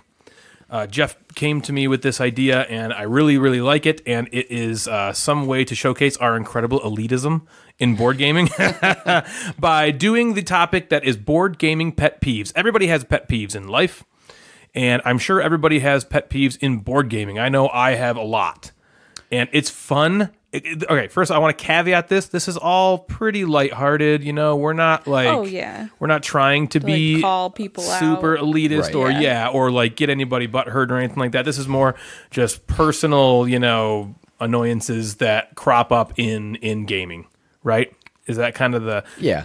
All in good fun. Yeah, Yeah. Laughing. Yeah. yeah Talking about things we don't Right. I mean, if we lose a friend or two, not a big deal for the sake of the show. Got to get those 50 downloads at, at any cost. So, um, Jeff, this is this was you you brought this idea to me and I was super excited about it. So, I'd like to start with you. all right. Let's kind of just like we'll each hit one. I'll just, kinda like, say one, and then yeah, we'll see because what- because I'm worried that we're gonna have a lot of overlap here. I would guess. Probably. Yeah. So, all right, Jeff, that'll be fun. Let's hear your first one, man. So I think this this one I think has has developed over time, and I think is also stemmed from Ryan James. Oh, One of the pet peeves, and this alright. is not this like maybe we won't be. and I, I have like Ryan different James things. Some of it is about gameplay. so some of like the pet peeves are about gameplay or people you're playing with, and some of it is about like nitpicking about like what. But anyway, here's here's my one. The front of the box, the box lid needs to be on the same direction oh as the my bottom of the box. I didn't think about things like It that. ha- so that's it, like I will, and my my students are to you by awful at it, and I don't know. You have like a pretty good shot. Most games are 50-50. rectangle. You well, got a guess you 50 got 50 shot. 25% chance, right? And I, so I will, they will be playing a game, they'll put it away. And before I put it into my bag to go home, I will look at it and I will flip boxes around. And the kids are like, What are you doing? And I'm like, Mind your own business. Uh, it's time to go. So I that's found one. that telling Yep. people what I'm doing, it's worse for me. because worse. now they're like, well, then I'm just going to put it on another way because I'm an Right. asshole. Yeah. or they Like, make fun ugh. of you. So that was, that was That one is of a great one, dude. Yeah. I, oh my gosh, I, I that drives me nuts too. Well, Mm-hmm. like you said, I guess it stemmed from me. I do. I cannot stand that. Okay, Natalie, what about you? What's your uh, Oh, let's what's a board gaming pet peeve that you have? Natalie just unrolled a scroll, by the way. Which one shall I go with? Um, I'll say when you're playing like a long game in a thinky game and somebody is not thinking about what they're going to do on their turn until their turn starts, which just drags the game on even longer. Yeah. That's- say, oh, is it my turn? Like, okay, yeah, yeah, you're right. oh, It's you don't know what you're gonna do, now it's we have to wait been 10 minutes for you to minutes. think. It's already been 25 minutes, and their turn comes around, and then they're still sitting there because they don't know it's their turn for one. Yeah. And then when they, you tell them it's their turn, they're like, okay, hmm. Like, oh my like, God, what were you doing? Yeah. Yeah. You were just replaying that porn You you, had watched 20 minutes to figure out your turn. Like, come on. yeah, that's a I fantastic one. agree. And, uh, Bill always has a funny comment to that. When anybody at game night says something like that, he's like, "Yep, you're always after Joe." Like, Oh, oh, is it my, my turn? Yep. God. I just did that to You her did? last No, night. he doesn't. Yep, he you're always just- after me. He didn't just do that to me last night. He does that to me every single Yeah. time we play. so funny. I'm not going to say that's a pet peeve, but I was gonna say. know when your fucking turn is, honey. I'm just kidding. Yeah, I would just think like, I was gonna say that's probably a pet peeve. Like you're not paying attention enough to know that it's your I also turn. recognize I'm hyperactive with my like. Let's keep going. Let's keep it going. It's Yeah. your turn. It's your turn. It's your, I get it. Because I don't blame you. While while gaming is like the most social thing you can do, I also un- realize like okay, if we want to do more, we gotta we gotta move because Yeah. some some games Yeah. have been accidentally ruined. We played Roll Player one time when I used to own Roll Player with Brian and Heather, and Brian and Heather and Natalie and I when we get together, we just we just go off on tangent. We'll talk a lot, and so we started playing Roll Player, and then you know we start tangent after chatting. tangent, and then no one really wants to play anymore. And it, you know, I'm like, okay, to to avoid that, and so we don't have you know bad play. I like to try to keep it moving. So yeah, that's so I- fun. Yeah, but you're after I him every said, time. Like Every I said last night, though, I was like, you could just be like, "Hey, it's your turn," instead of being like, "Well, yeah, you go every you after Brian every I time." I feel like if I let shame you a little bit, it'll correct the behavior. well, here's okay. No. In my defense, I'm okay. First of all, I agree that that is a normal pet peeve. Hi, my name is Natalie. Hi, Natalie. I agree that's a pet peeve, and I will admit that I do that sometimes. But a lot of times it's because I'm thinking about what to do and I'm not noticing that the person before me finished their turn and that it's not my turn Mm. because I'm thinking about my turn. Mm-hmm. So if you ever notice when you do remind me that it's my turn, I'm like, boom, done. And I take my turn quickly. Absolutely, right. For I sure. agree with Natalie's pet peeve. Know what you're going to do, or at least have an idea of what you're going to do before Yes. it's your turn. Think- Especially in a thinky game, you're Think right. while it's Yeah. someone else's Yeah. turn. I mean, some Yep. games it's not that bad Yeah, because some it's quick, doesn't but, but- games that are like, you know, takes 30 minutes to do one It's a bu- round, you have plenty be of time. Big bummer. All right, my first gaming pet peeve that I want to talk about has to do with terminology in in games, and uh, I, I don't I don't think Bill and Christy listen to this show, but th- Christy shares this pet peeve with me, and it's calling components chits, Chits. or bits. I hate. I don't know why, but that just like. I don't like that. I got about 13 bits here. Got oh, did you get that chit? No, they're components. This is more of a personal, like uh, I'm pretty OCD, so it's more of like a personal OCD thing You with have me. that I with think I rules just, it just doesn't really make any sense. And I also like everyone throws around gaming terms like this game is so elegant, and I just hate that. It drives me nuts. It peeves my pet. Is that a, is that how it works? Sure. Yeah. It's a pet peeve of mine. Yeah. So no chits, no bits here. I, I prefer to call them, you know, tiles or you know just components. In Chit some way. sounds like a dirty word. Yeah. It kind of it's like it, it- it's like dirty. Well, I don't even really understand it. Like a Why- chit. Like who started? I think there are that? direct, I, there has to be like in rules or something. It says that chits? says chit somewhere. Where did that Chits come and from? Bits. I don't know, but it always. Whenever I hear someone say it, I'm like, I hate. Well, when don't I like hear the word bits, I think of like oh, you're going sexual here. Naughty bits. yeah, Got my naughty bits. She's like yeah, genitalia. bits. so yeah, board gaming. Some board gaming terminology like that turns me out. There's more terminology, but it's essentially those. Those are the the main ones. The bits and the chits. Mm-hmm. All right, Jeff. What about you? I have another one about game boxes. This is a sequel to the first my first pet peeve. oh yeah. I don't like when Box damage. the well box damage is just a story of my life. oh, on a side note, one of my kids like crushed a game box. I'm like, thank oh, you for that. Would they just sit on it? I'm like, I'm glad Thanksgiving is next weekend. Oh. I'm like, no, he's like leaning on it. I'm like, what's what? What are you doing? You're a senior. Like he was like had his hand on it. and it was just like dishing it. Yeah, Were you like, stop it? I I like saw the game after it was already like dented, and I'm like, what happened? What game was it? Then we had I gotta team know what three. game it was. Oh, that's a know. pretty sturdy box too. How are they? Man, they got to put some force I on don't know. there. Anyway, Hey. pet peeve when you take a game out and you set everything up and then you take the box top and you put it on the bottom. Like you put the box Underneath, in inside, yeah, I don't like that. and then you can't get it back out. And then it takes forever to get it back out. Natalie doesn't like, approve of our pet shifting peeves. it. I don't think. we just have very different pet peeves. No, it's okay. I have like gameplay pet peeves Okay. as well that I I'll was like, get mine to. are all about but I'm like going. people. Natalie's like, mine are all mean. mine are all shaming people. No, because then I go around and it's same thing at board game club. I'll like go around and I'll like t- shake the Yeah, 'cause box it's like, top out of the get it bottom, off. and it's annoying. yeah, So stop that's it. annoying. Yeah, stop it. And then like you know you set it up, you can like look at it. But I don't know. That's my favorite thing is setting it up and looking at it. Yeah. Yeah. Look at the art. Yeah, leave it out of the Just jam damn it in box there. top. Good one. Yeah. All right, Natalie, what's your next one that's going to make everyone angry? Yeah. I hate people. Who wronged you? I know. What happened to you? Um okay, another one I wrote down was like sabotaging a game because you're not having fun or you don't care about it or Uh-huh. don't get Ooh, it. that's a good yeah, one. that's a I very good have one. an example. We played the game one time at work. at work and some people I think that they just like didn't really understand it and so they were just throwing cards out there that just totally screwed Ugh. up the whole game and we were like, Yep. What are you doing? And they were like, "It's funny."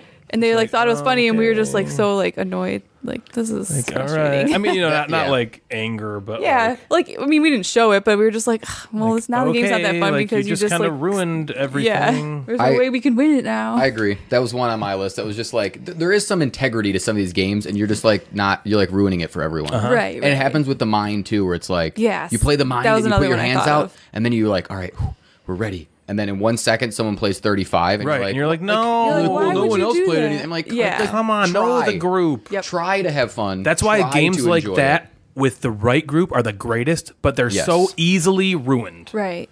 So it's hard to. Okay, that's a good one. All right, so my next one, um, kind of on the heels of that, I guess in a way is, um, and and I'm everyone's guilty of these things, right? So this isn't like me calling anyone out because I've done the same thing I'm about to say. Mm-hmm. Yeah, a I've lot done of some of these before. things, too. and this one here, uh, so I teach a lot of games, right? You as you as do you. Yeah. And so one of my board gaming pet peeves is when someone either constantly interrupts the teach that you're teaching, and I'm guilty of this. So I, I you know, I you know, I understand both sides. Uh, when someone constantly interrupts your teach, but but really an extension of that is, and then doesn't know how to play, and so then is stopping the game constantly throughout the game to ask about rules that you would have already went that, Yeah, we went over this. Right. If you would have just you were interrupting every three seconds with either a joke or you were Or a question or that a- you didn't, yeah, a question just that didn't get didn't- to yet. Yeah, I haven't gotten to. And then um yeah, so then you're playing the game and now it's like, what about this? What about this? What about this? What about this? And everyone else is kind of like, oh my god, he went over that. Like he said that. That's already that's been we've been established that. Again, there was sometimes at, at work a couple people that that happens. They just can't hold it in. Yeah. I suppose, and it, and admittedly, it, it mostly happens with nons. which is what I use for non gamers. so it mostly happens with nons because they just don't Yeah. they don't think it matters. They're invested or- in the social aspect more than the game. and they I really understand Yeah. rules overhead is can be a bear. So a lot of people have this mentality, which is also a pet peeve of mine, where they're just like, "Let's just play and figure it out as we go." No, let's not. Please, let's, know the not. rules. Doesn't So go that's that's one of my big pet peeves is That's a good one. Teaching it and then people interrupt Yeah. the teach and then you know it's kind of Yeah, Th- I frustrating. never teach games, and that bothers me because I'm. I know you. I mean, you've probably taught me like 300 games. Yeah. so I know your like teaching style, and you always like. I guarantee if they have a question, you will eventually get to it.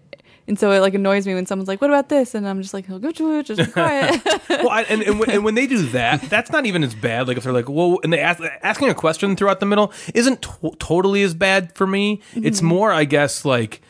I- I'll be explaining something, and then someone will be like, "Well, that's dumb. Why is it like that?" Or this Oh, is this like is the comments. or or they'll just be they'll start making jokes or talk or even talking to somebody else at the table. Mm-hmm. They're clearly not paying While I'm- And so I'm like, okay, so I'm just going to gonna know how to stop play. because Yeah.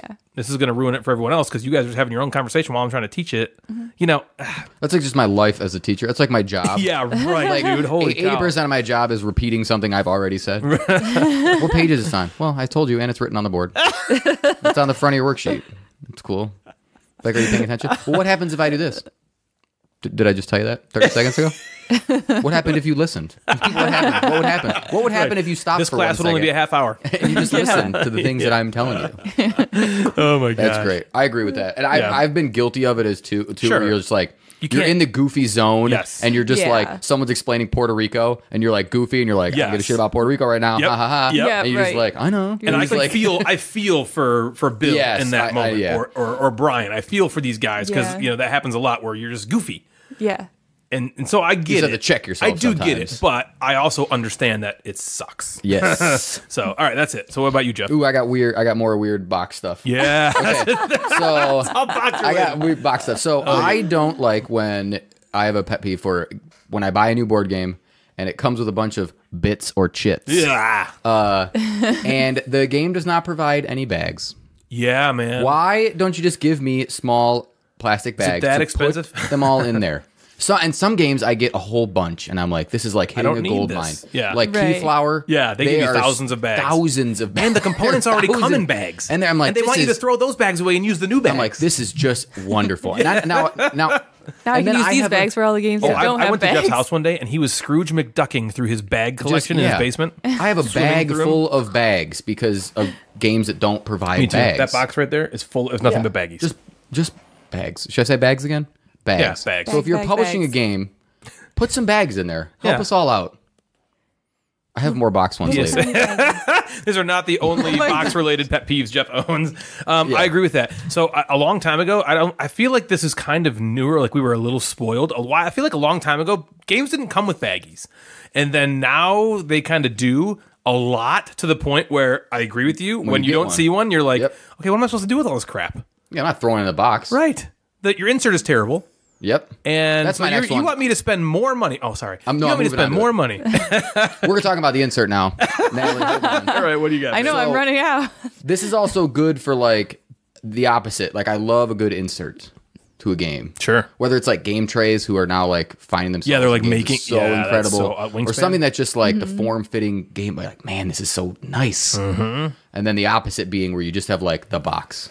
Mm. or I, for some reason, what I hate more is when the box has that cardboard thing in the middle of it and it divides it into two parts. But then nothing really fits in either of those parts, and I'm like, why don't you just, if you're gonna do something, just make it an empty box Aaliyah. and let me it's throw like every things. Aaliyah game there is. Yeah, why is that thing there? I don't know. Or So they there's can like a advertise box. Take it out. Or there's a box that's enormous and there's like two little things in it, and it's like, why didn't you just make this small? Uh huh. Yeah. so make I good box inserts.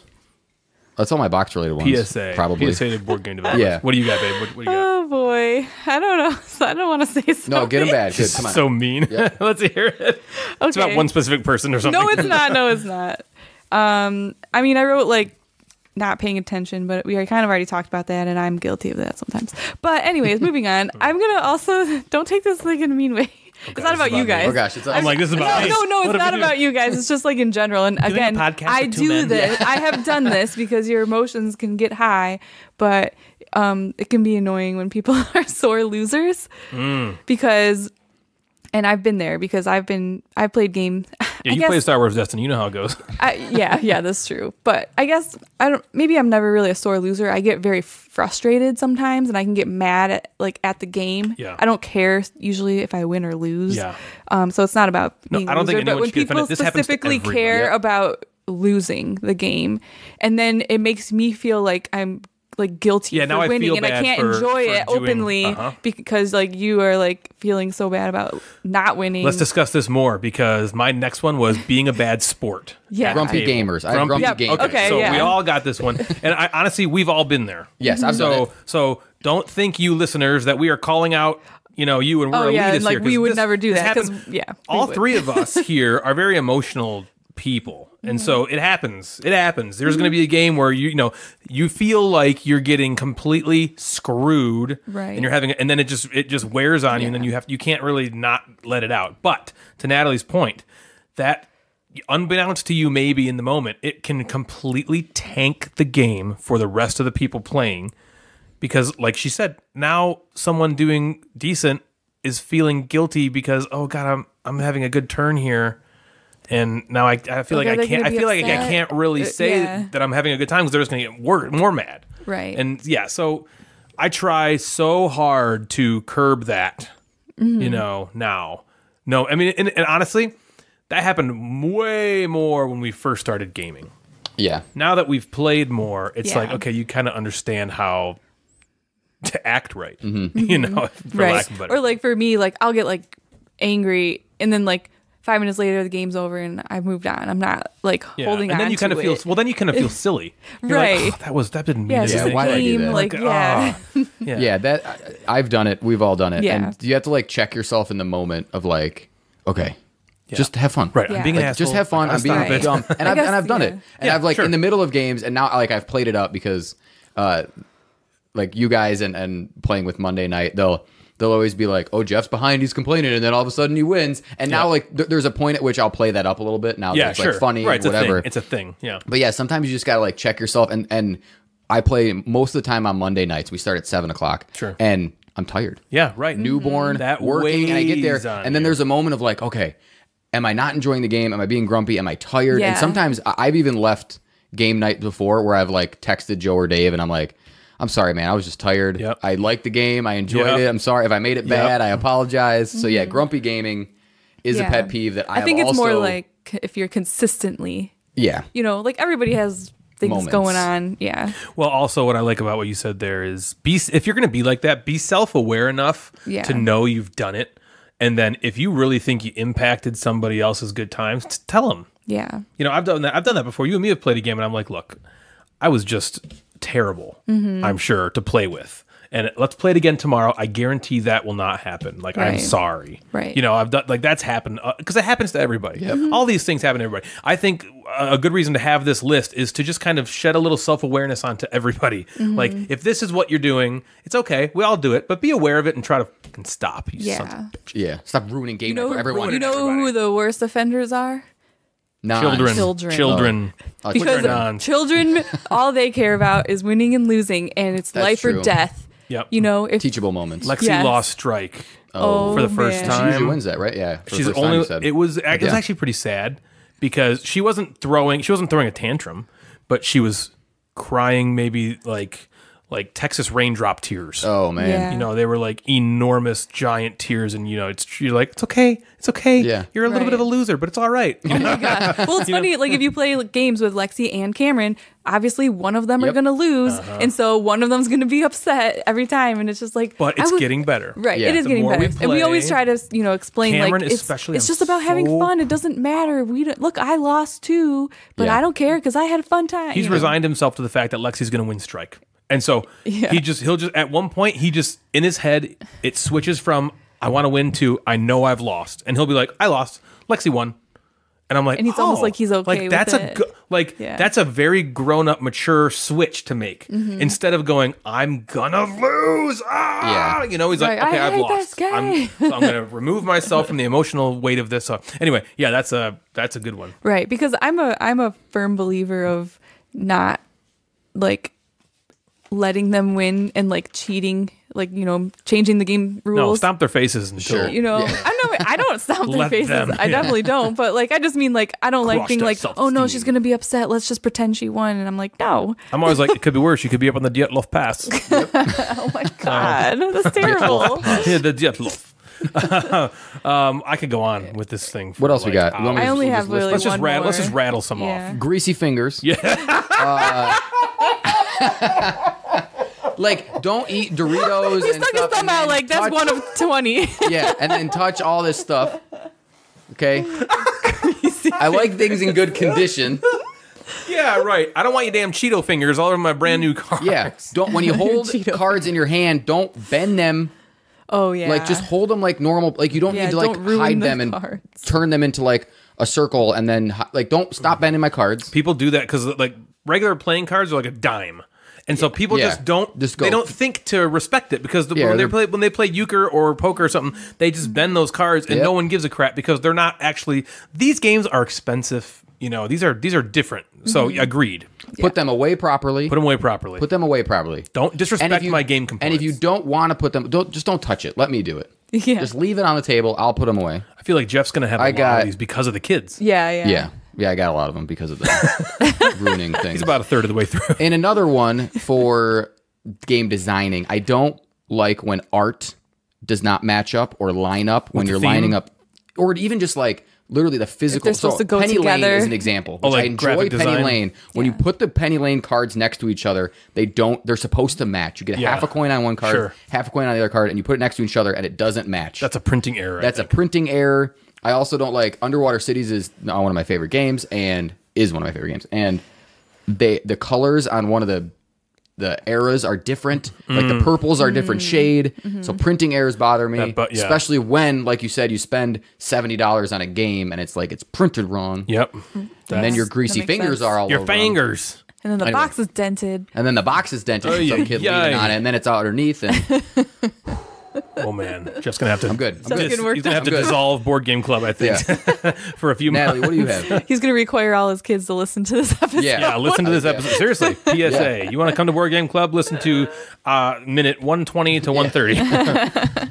Okay. Um, I'm so sorry, but I have to my call you out. Me? yeah, specifically. Uh-oh. You already know this. Specifically, Turn her mic down. Yeah. okay. You already know Yeah, this because I yell at you every single time you do this. Oh, Because it drives me crazy. I have no idea what she's gonna say. yes, you do. So No, I don't. there's so many times that we play a game and Ryan will say, You're gonna win. Oh, And I'm oh, like, yeah. Well, now that you said that, I guarantee I'm gonna lose. Literally every time I'm wrong. Because for you know, probably the first hundred times he said that, and I'm like, wow, he thinks I'm gonna win. He- You know, that's so cool. And I get my hopes up, and then every time crushed, I lose. well, not crushed. Oh, your your feelings are crushed. Yes, and so now I'm just like, he's like, I think you're going. I'm like, why did you just say that? Don't ever say that again. you just me. jinxed me. Yeah, I, that, that one's funny. probably relegated to me alone. I, I will say this to you, in uh, one little bit of defense for myself. I mean, I know you truly mean. I it. do. I am not like saying that to be like, okay, this is my meta way of ruining. No, I know that. I am. I know I that. truly every time it happens, I'm like, oh yeah, she's got this, and then I make a charge. You know, because it's it out. usually it's usually me that ends up winning, right when it happens. So I can see that. Yes. I Why I made a apologize. I apologize. I can understand that's a pet peeve. I don't think I'll stop. So my next pet course. peeves here. I, I this one is more with with board gaming media content creator, and this applies to YouTube channels and Instagram names. Every single person in the world. And this is this is this goes along with my terminology pet peeve of chits and bits. Every single person. Be more original than using the word meeple in your name. If you're going to do a new YouTube content creation, don't call yourself the blah blah meeple or the meeple blah blah or this and that meeple. And I realize I'm probably alienating a lot of people already that Oh, have no. that name. And I'm not saying I don't like it. I just whenever I see it, I'm always like, there's other things in the hobby you could call yourself than the whatever meeple. I was talking with there were some friends of mine that we were gonna a long time ago start uh, some YouTube like uh, network to try to not combat the dice tower, but to just have something else out there. And they were like, we should call ourselves the the the Meeples Far or something like that. And I'm like, can we just not use Meeple? It doesn't have to always be Meeple. There's so many things in the game hobby that are not Meeple that let, we've done Meeple to death. Let's do something else, you know? And the people that have Meeple, they already got it on lockdown. Yeah, they Yeah. got Let it. 'em do There's it. enough of the Meeples. Yeah. You guys are killing it out there. I'm proud of all you Meeple people. They got it. The Meeple, yeah, there, I think there is a Meeple people. There is a Meeple people. Well, they, yeah, and there's that's the Meeple uh, among that's people. the show. He's yeah, like the Meeple huge among people. Ryan on he's in Instagram, and there's like the meep, married Meeples. Yes, the broken they Meeple. got they got them. They got him. up- They got There's him locked down tons of yeah, the meeples. It's it's uh, that's great. I mean, again, I'm not trying to to shit on all the people that already have the meeple name, but we don't need more of it. Mm-hmm. All right, that's that's one. Um, bad rule books is one for Oh, me. yeah. Yeah. So um, That's a good one. We talked earlier about this game, Visitor in Blackwood Grove, and I've already talked to the designer of the game, so this isn't me calling him out necessarily. But this rule book was so dreadfully written and, and presented, I could not play the game. And this is all, for all intents and purposes, a very simple, simple game. I could not even remotely understand anything of what was happening. So invest some money in a proofreader and it's so hard when you're writing a rule book i can imagine because i'm you know working through some designs where you're so close to the game you're writing your rule book assuming you know things that you shouldn't about about teaching it. People are not in your brain. They don't know what you know about the game. You have to teach and this is uh, in every kind of thing you're teaching i'm sure jeff can probably attest to this as he's an actual teacher that you have to teach these things these concepts to people as if they've never heard of this before. Really? can they understand you know from you but basically have never having never knowing nothing about the game. That's what this rule book is doing. It should teach you mm-hmm. you know thing by thing about the game. You don't use you know terminology that you haven't identified or defined yet and well, another you know, thing important is the flow. Like you shouldn't do, you shouldn't say something that's important to the beginning of the game and the last page of the book. So the whole time you're like, what? Okay, Until so the last page. This happened in Mechanica. Yeah. We you're played like, Mechanica, oh, which is actually by the same the same publishing guys. And great game. I like the game a lot. But there was one thing at the very beginning of the game. It's talking about the setup, and it says place both decks of these cards face up. And I'm like, both decks? There's supposed to be two decks. How do I split these decks in half? There's only 15 15 cards. How do I split them? It doesn't say until the very last page of the rule book, the very last page where it talks about setting up for the next play. It says split these 15 cards into a pile of eight and a pile of seven. Then flip the top one face up and put it there. I'm like, okay. Why wasn't Why the wasn't that the very Yeah. beginning of setup? It's just like stuff like that they just don't think of. So bad rule books uh, is is is a, Very important. It could is a big pet peeve It could me. make the game start off much better. Yes. Jeff already talked about disrespect of game components. That was another one that is a gigantic, maybe one of the biggest pet peeves there is the bending cards, the Cheeto Yeah. fingers, the crushing boxes, fingers. basically just not treating a game as if it's your own. You know, it's the golden rule, right? Treat Yeah. people the way you want to be treated, treat their stuff the way you want to be treated. Mm-hmm. And uh, that's a lot of the, that's basically all I have for pet peeves. Yeah, that Yeah, was same. good. Well, Half hour complaining. Was Yes. good. I like I feel that. good. yeah, I feel, I feel better. nice. It is so nice to put people down. Oh my god. other people. So, um, with that, let's go into the second part of our top fives. Last episode, Jeff came to me with a couple ideas for top fives, which I thought were amazing. Very great contributions from our newest why member. he's a I will say this is why you have the corner section of the table. Heyo. corner section, like the corner. Yeah, the office. corner office.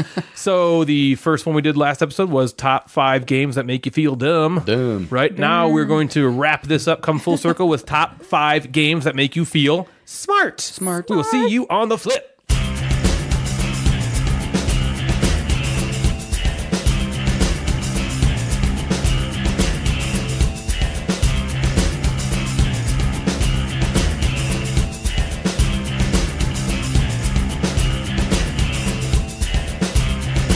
Right, all right, all right. We are back with the top five games that make you feel smart, intelligent, whatever. When I made my list, this was not, I didn't just put games on my list that I win all the time. Those two things go hand in hand, but there are games that I've lost a lot that I still, when I win them or when I do something good, I feel smart doing it. So you'll see that reflected in my list. I agree. Yeah. I, I don't win these games every single time I play them. Yeah. but Some I I, am do. competitive and I know exactly what I'm. do- Yeah, so I agree. Yeah, right. So they can go hand to hand, but you know, I was, Natalie and I were talking about this, and she was kind of like, I don't know what to really. And I'm like, well, th- maybe you're thinking about it just as games I win all the time, which again, they go hand in hand, but that doesn't necessarily mean right. So with that, um, Jeff, again, since this is your idea, I want to end with you if you're okay with that. Do you want right, to kick yeah. us off this time, Natalie? Oh, sure. What is your number five game that right. makes you feel smart? My number five game. Um, I put the exit and unlock games, and I want to explain that these games also make me feel really dumb because there's a lot of times when you're like, "What? I just can't get it." I, but Sure. But the reason I put it on here is because when I do figure out a puzzle that everyone else is struggling to get, and I'm struggling to get, and then totally I figure it Yeah. out, I feel like the smartest person alive. Yeah, It's a great You're moment. Really good at it. Yes, so you do. You, you have are. those moments a lot. So I think that's a fantastic one to put on your list. So that's my number five. Yep, good one. Love it. Okay, my number five is um, a game that I don't win all the time, but again, it's it's kind of similar to what you said. Sometimes when I come up with the perfect clue, I feel so amazing, and this is Codenames. Yeah. So I'll give somebody a clue. I'll be thinking about it, and all of a sudden, I will see the Matrix and be like, "Oh, if I say." There's two words out there. One of them is uh, Seattle, and one of them is oh dang, I, and one of them is uh, wa- like washing machine, and I say the word Sears. You know, Sears Yeah. too, and then someone's like, "Oh, boom, Sears." You know, they sell washing machines. Oh, and they're the Space Needles in Yeah. Seattle. You know, or, or the Sears Tower or whatever. Yeah. Uh, maybe Is that I'm- in Seattle? maybe it's different. Maybe I it's thought it was different. like Chicago. Chicago, whatever, either whatever city it was in. You know, I, I come up with that clue, Yeah, and I'm yeah. like, oh my god, that like that feels so good to me, and I Yeah. feel like brilliant in that Yeah. moment. Or conversely, when you're on the other side of the table and you feel that communication with the person who give the clue, and you're like, I know what they're saying, boom, boom, boom, boom, and you feel so smart for for getting what they're laying down. So that's my number five Codenames. That's a good one. That is a good one. My number five is a game that I played three times. I have absolutely dominated in this game every time I've played played it in Christie. So we played Okay. it three player three times since I have won that game three times by a hundred points What? easily. That Bill has gotten rid of this game.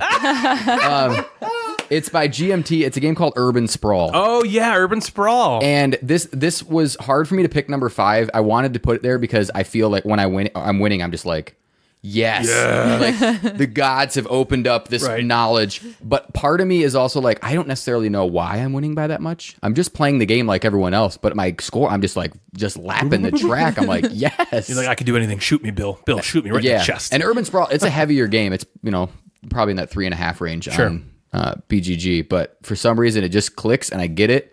And I do well, and I'm like genius.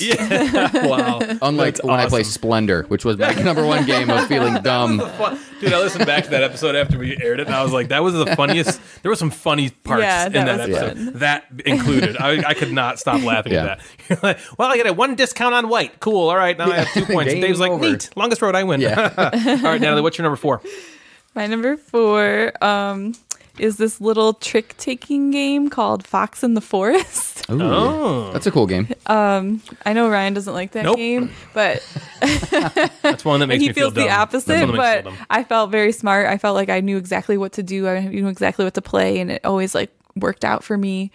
Um, I like trick taking games, and I feel like I'm do pretty well at them. And so Yes. this is one that I specifically remember every time we'd play. I'm like nailed it. You did similar with Claim when we, we played Claim. Yeah. You you killed it at that too. That's a good one. Yep. Um, I hate that game. So my number four, my number four is one we just played last night. We talked about it briefly before we started the show. That I've played it four times now. Every play, I've I wouldn't say I've dominated. I've won every time I've played, and every time I've played, I've I've felt like I got I got it. Like I got it.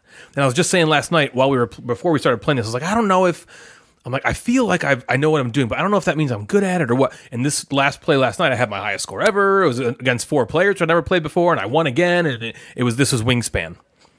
yeah, you're good at Wingspan. I, I just feel like I I I get it. I again I kind of like see the matrix there. Like every time I've played, I'm like I just do this and this and this, and I got these combos, and I feel like okay, I have to do this to win. I'm I'm surveying everybody. I don't know if anyone else, if people do that as much in that game, but I'm always kind of like, okay, how many points does Natalie got over there in birds? Okay, this person has this. Okay, so I'm gonna get this card, and then oh, I got this. You know what I mean? I I really see the matrix in that game, and I feel good. I don't feel like it's the end of it, and I'm like, I don't know. Pretty much all four games I've played, I'm like, I think I won. You know, I'm pretty sure I won. I'm pretty sure you did. You know what I mean? So um, that's my number four, Wingspan. Awesome. Jeff, what about you? Number four. My number four, um, Eggertspiele. Game I love. My top, probably five. Um, a game called Coimbra. Coimbra. I knew that was going to be Uh, in there. Coimbra I love. And I, I, again, I haven't won this game every single time I played it. I've played it Yeah. f- maybe five times, and at least five times. Five. Anyway. Sure. And it's, I just get it. I get what dice to take. I get, all right, I need these colors to do this, to move my guy around the map, to get more gold. I just, I, I, I get the system of what I need to do. It's a hard game, too. Yeah. and I love the game. And that, again, that's too. some of these go into like these are one of your favorite games because also you're good at it and you get it. All that goes hand in hand. You know, Yeah. Yeah. You win a lot because you, you get it. You love it because of you win a lot and you get it. And yeah, Yeah. makes you feel good and smart. Yeah. so that's my number four. I like it. Natalie, hit us with your number three. My number three. I like how you close the book every time. I don't have to, know. like, I'm like, zoom, zoom. be prepared next time, Natalie, and then I'm not. Yeah, that was one of our pet peeves, remember? Yeah, it's your turn. It's your turn. Um, okay, I was struggling with this list, and I almost put Coimbra here, and then I took it off because I felt like I came up with a better one. All right. And that one is CO2. Oh, right. Okay. We played this let's one only a couple times. Don't close it. But I was She trying to it. I was trying to think of a, a game where we were like strategizing and like coming up with plans Yeah. to make something a success. And this Sure. is like the number one game I thought of with that. And even it is cooperative, you know, so maybe it's not all on me to like have the No. brains. Well, but like I feel like it, as a group it made us like it made me feel like like I'm we know what we're doing and every time we play this we're winning it because we just like it feels impossible and then we figure it out Right. Yeah, me and Jeff are coming up with stuff, and now he's like, no, you guys are dumb. Listen Yeah. to me. no That, that I'm such a cool smart feeling in those co-op games where everyone says a bunch of stuff and then you're like, "No, this is this Yeah, is the you best guys, thing," and it's you say it and you're like, "Yes, Yeah. Yeah. Yeah. I'm the greatest." yeah. you, You do this and loud, you do this just- and then we could get it Yeah. you know and it's Well, like and ah. I can understand in a cooperative game how that could be tricky because you want to avoid quarterbacking, Yes. you know, or being the one who's constantly alpha. like, I know best. And, but uh, to your credit, you don't do that. You know, it's more like, I think this might work out. What do you guys think? And then we're like, yeah. Yep, that makes Yeah, sense. that's right. So that's a good one. So s- that was number three, huh? yeah C O two. My number 2C. three is a two player abstract game that I've played my entire life, and it's called chess. All right, chess is a game that uh, you know I'm not brilliant at this game. I'm I'm am very amateur at this game. But You when think anyone's I, heard of chess? I don't. Well, okay. So this You heard was designed in the early 1900s by Vladimir Cauchon, and uh, this one, um, when I win, or when I'm when I'm when I'm setting myself up for an awesome tactic, it feels maybe unlike anything else that I've played. It's it's got this like oh my gosh like because you're you're quite honestly you're just there to outsmart your opponent, you know, to capture their king and and when you do it in a way that they don't see it coming mm-hmm. and then you you know you know in your head like okay they don't see that i'm doing this and this is gonna be this is gonna be awesome and feels so good there's nothing like it. And so it makes me feel super duper smart and that's my number three yeah chess. I feel like you probably feel very smart whenever you play me. No it has nothing to do with you. It really doesn't. I mean because i've played i play online a lot on my phone. Yeah, that's true. and i play guys that beat me consistently but and I still there's still moments in those games where I'm like I just took You're his like, oh, queen and he didn't see it sweet coming and that felt Yeah. so good oh I lost yeah Right. And it's still, I still yeah feel smart for i that thought you might put this one on it Yeah. you're, you're good at that game Thank you. So that's my number three. Chess. What about you, Jeff? What's number three? Number three, I agree with Natalie. She said she struggled with this list. I came up with a lot more games that made me feel dumb than I, Yes, than I that have with games easy that made me feel uh, smart. Uh, this is another game that I love. Uh, probably it's either second or tied for first in my favorite Feld games. And that would be a game called Trajan. Oh, yeah. You do like Trajan. Love Trajan, and I get the mini games of Trajan. There, you know, there's like six. You know, there's this rondel, Mancala, Mancala thing. Yes. And I just I get the mini games, and I think that's just so fun to play them all, and I understand it, and That's awesome. Yeah, that is a that is an awesome game. All right, So so, my number, number two? two. My number two is. I was gonna say it. It's Love Letter. Yeah. Love Letter. Oh, yeah. I mean, that's when I think of a game that makes me feel smart. Like when you and me play that game, I feel like we just get it. Like you pull up a card and you just know exactly what to do. You know, there's not even, it's almost like we don't even have to think about it. We're just like boom, boom, boom, boom, boom. And like, you know, whether you win or lose, it just happens to be what the cards are. But I feel like we just get that game. Uh-huh. And I wouldn't normally think that like that's a game that would make me feel smart except that i've played with a bunch of other people and they're all like i don't like this game i don't get it it doesn't make any sense and i'm Sure. like hmm i do so that's why i picked that as a game that makes me feel smart Like, let's take an IQ test right now. My number two is a game I haven't played in a long time. I sold it off. I played it probably 10 to 15 times uh, earlier on, and, and I just seemed to, another one, I just seemed to win and get it a lot. And it's called Small World. Yeah I played that game a bunch back in the day, and I just seemed to somehow always come out on top.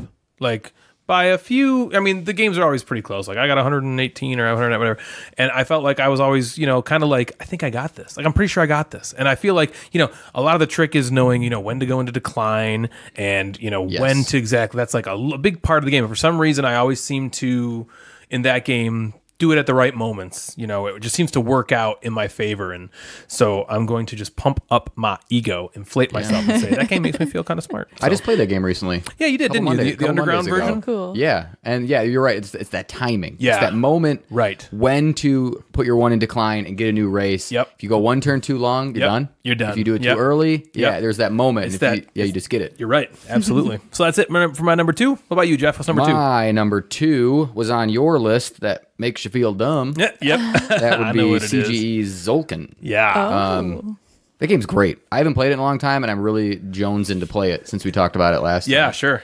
And I love the gears. I just get when, because again, the rules are put your worker out, put a worker out, or take them all back. Yep. That's that's that's the rules. That's Right. the, the mechanism of the game, and I just I feel like I know when to take them back, and that's that's, That's the moment. hard. Oh, because you might not get anything on this wheel, but it helps you here, and you Mm-hmm. move up, and you can trigger all these kind of different things, and you got to keep a lot of stuff in your head. Yeah. In that game because there's fi four different wheels, five different wheels, maybe four, and then the main one you turn. yeah, and you have it's so hard to know like okay i have one guy on this wheel he's that far i have this guy over here like this one is good but i need to wait on that it's it's hard to keep it all in your head and yeah you do a good job of that for sure so that's awesome. That's your number two. Number two, Tzolk'in. Tzolk'in all right let's get into number one. Number one number, one. one. isn't that a lot of fun? What do you got? Uh, my What's number, one? is mastermind. Of course. I know you of knew i was course gonna put that. Yeah of course. It's just i mean it's maybe it's not the most like complex complicated game but that's Doesn't matter. that's like the probably the number one game where i feel like that's just my brain works that way and i feel really smart when we're going you know you're going through you're looking at all the pieces of information and you're like can't be this can't be this can't be this gotta be this and you're right and i'm like yes! Yeah you're very good at that game. You are very good at that game. So yeah that one has always made me feel smart. I've been playing it since i was a kid and i just love it and it makes me feel good about myself. Good. Yeah that's awesome. Yeah we, we've been playing we played that recently. We did? In the last couple of years Well, I mean, like We used to play it's not like lunch just a childhood game for us. Oh, you know, I we know. like we actually Yeah. play it. Yeah. like you know, like it's a You're right. a newer like version even that we play. Yes. So that's awesome. Mastermind. My number one is a game I've played seven times and I've never lost. I've never lost this game. I knew this was on there. You did. L- oh. I know. Wait, no, it's oh. not Lords of Vegas. Oh, Oh, it's I was not- No, no, no. Lords Okay, I was gonna say because Lords of because my winning streak in Lords of Vegas is nine. Oh, nine in a row. Wait, I you had played won. this seven This game, my number one game, I've played seven times. And I know never, it. Never lost. I know it. Never lost. Does it start with an H? Yes, it does. Yes. It's Hansa Teutonica. Oh, okay. yep. And I will say, more than the other games on this list for me, with with the exception of maybe chess, I truly feel like I know what I'm doing. I know what everyone else is doing, and I know how to. Like I'm like, okay, I see this person's on this path, that person's on that path. I'm gonna go over here and do this, and because I'm the only one doing this, that's gonna win me the game. And I just know it's going to happen. And if someone mm-hmm. comes over here to do that, I have a contingency plan. And then if they do that, I'm going to, for some reason, that design just gets and clicks with me. And I just get it. And it makes me feel so good at the end when, because there's a lot of times where you're playing a game, I think, and it's happened to me where I'm like, and Natalie used it as one of her pet peeves, where you're going along and you're like, okay, I think I got this. I think I got this. And then at the end of the game comes and you're like, oh, I'm in third. Like I don't got oh, this. Yeah, and it's like that's kind of a bummer. In every play I've had of Hansa Teutonica, I'm like, I'm, I'm I'm pretty sure I'm going to win this. Like I'm pretty sure. And then it ends and I do, and it's like, oh, that feels that feels just so good. Mm-hmm. Yeah, so that's my number one Hansa Teutonica. Nice. All right. My number one. Jeff Caster's You number guys know one. it. Oh, I know knows it for I know sure. I know it. And th- this, I would say, Oh, I know falls it. in the category. Yeah, you I've not won this game every single time. Does it also start But- with an H? Yeah. Of course it does. I do know that every time I've played it, I've had that feeling of like, I'm doing well. Like, I know I'm going to be in the mix at the end. Sure. And this is Homesteaders. Homesteaders. I love Homesteaders. Well, I, I mean, your your main opponent is Bill, yeah. and you two are probably the best board gamers I, in terms of winning percentage that I know. So, if you just stopped playing with Bill ever, you'd probably win that game literally every single time. I, I love that game. It. I again, I just get it. I know when to pass on the auctions. I know what tiles I need. Mm-hmm. I know where to put my workers, and it just kind of like clicks. Like yeah, I just I feel like you it. know. Another thing that impresses me with playing with you in, the, in this game, and, and and Bill too, I would say, is you guys know when, like the value in the auctions. Yeah. Because me, for me, I have this feeling I'm like I just want to win the auction, and I will just bid too high. And I there's times where I'm bidding against you, and I'm like, he's gonna win. You have more money than me, or something. And then you're just like, you know, I pass. And I'm like, what? How did he know to do? Why did he? Damn it! Yeah, know, and then because it- that it one works out. Mm-hmm. worker that I then get maybe on that would help. Yeah, it, it just kind of clicks. Or I know, like you said, where it's like, all right, it seems like these people are doing this with their town. I need to do something else. I know that they need to build this industrial building. I might be able to low bid a commercial building and Sure. get it for cheaper, and then I'll I'll figure it out from there. Right, I understood twenty Yeah. percent of that. I know. That's Anyway, why it's a great he game. feels Check it out. smart. TNT. dude. Awesome, He awesome. It is a smart, gr- too. it is a really good game, and uh, one that Jeff's very very fantastic at. So that's uh, our top five games that make us feel smart. Uh, I had a couple honorable mentions. So my criteria for this list was I was like I, I want to have played these games at least three times. Yeah. Okay. So for that reason, Rajas of the Ganges just was outside. I've only played it twice. Mm-hmm. I don't know after playing it two times if that it could have just been kind of lucky. Like I just happened to see what was going on in this game. Sure. You know, this play. So I didn't put that on there. And my other one that I wanted to talk about was Cryptid.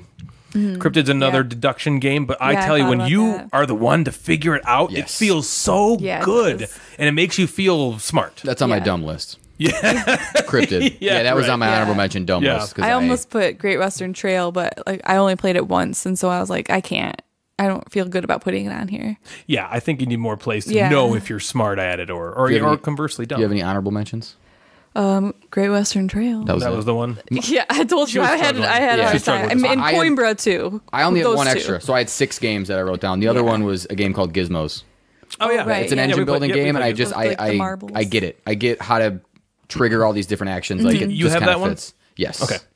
Yeah, and I've played that a handful of times too. Even Yeah. with Yeah. students where I just crush them. yeah. into a fine powder. Powder. So that's going to do it. That's going to wrap up episode 29. Thank you all for listening. Uh, we're so excited, Jeff, to have you as a permanent member of the uh, team here. Uh, it's it's it, it just makes sense to Me be too. honest with you. It does. I'm excited. It, I it think it's feels going great. really it feels well. natural.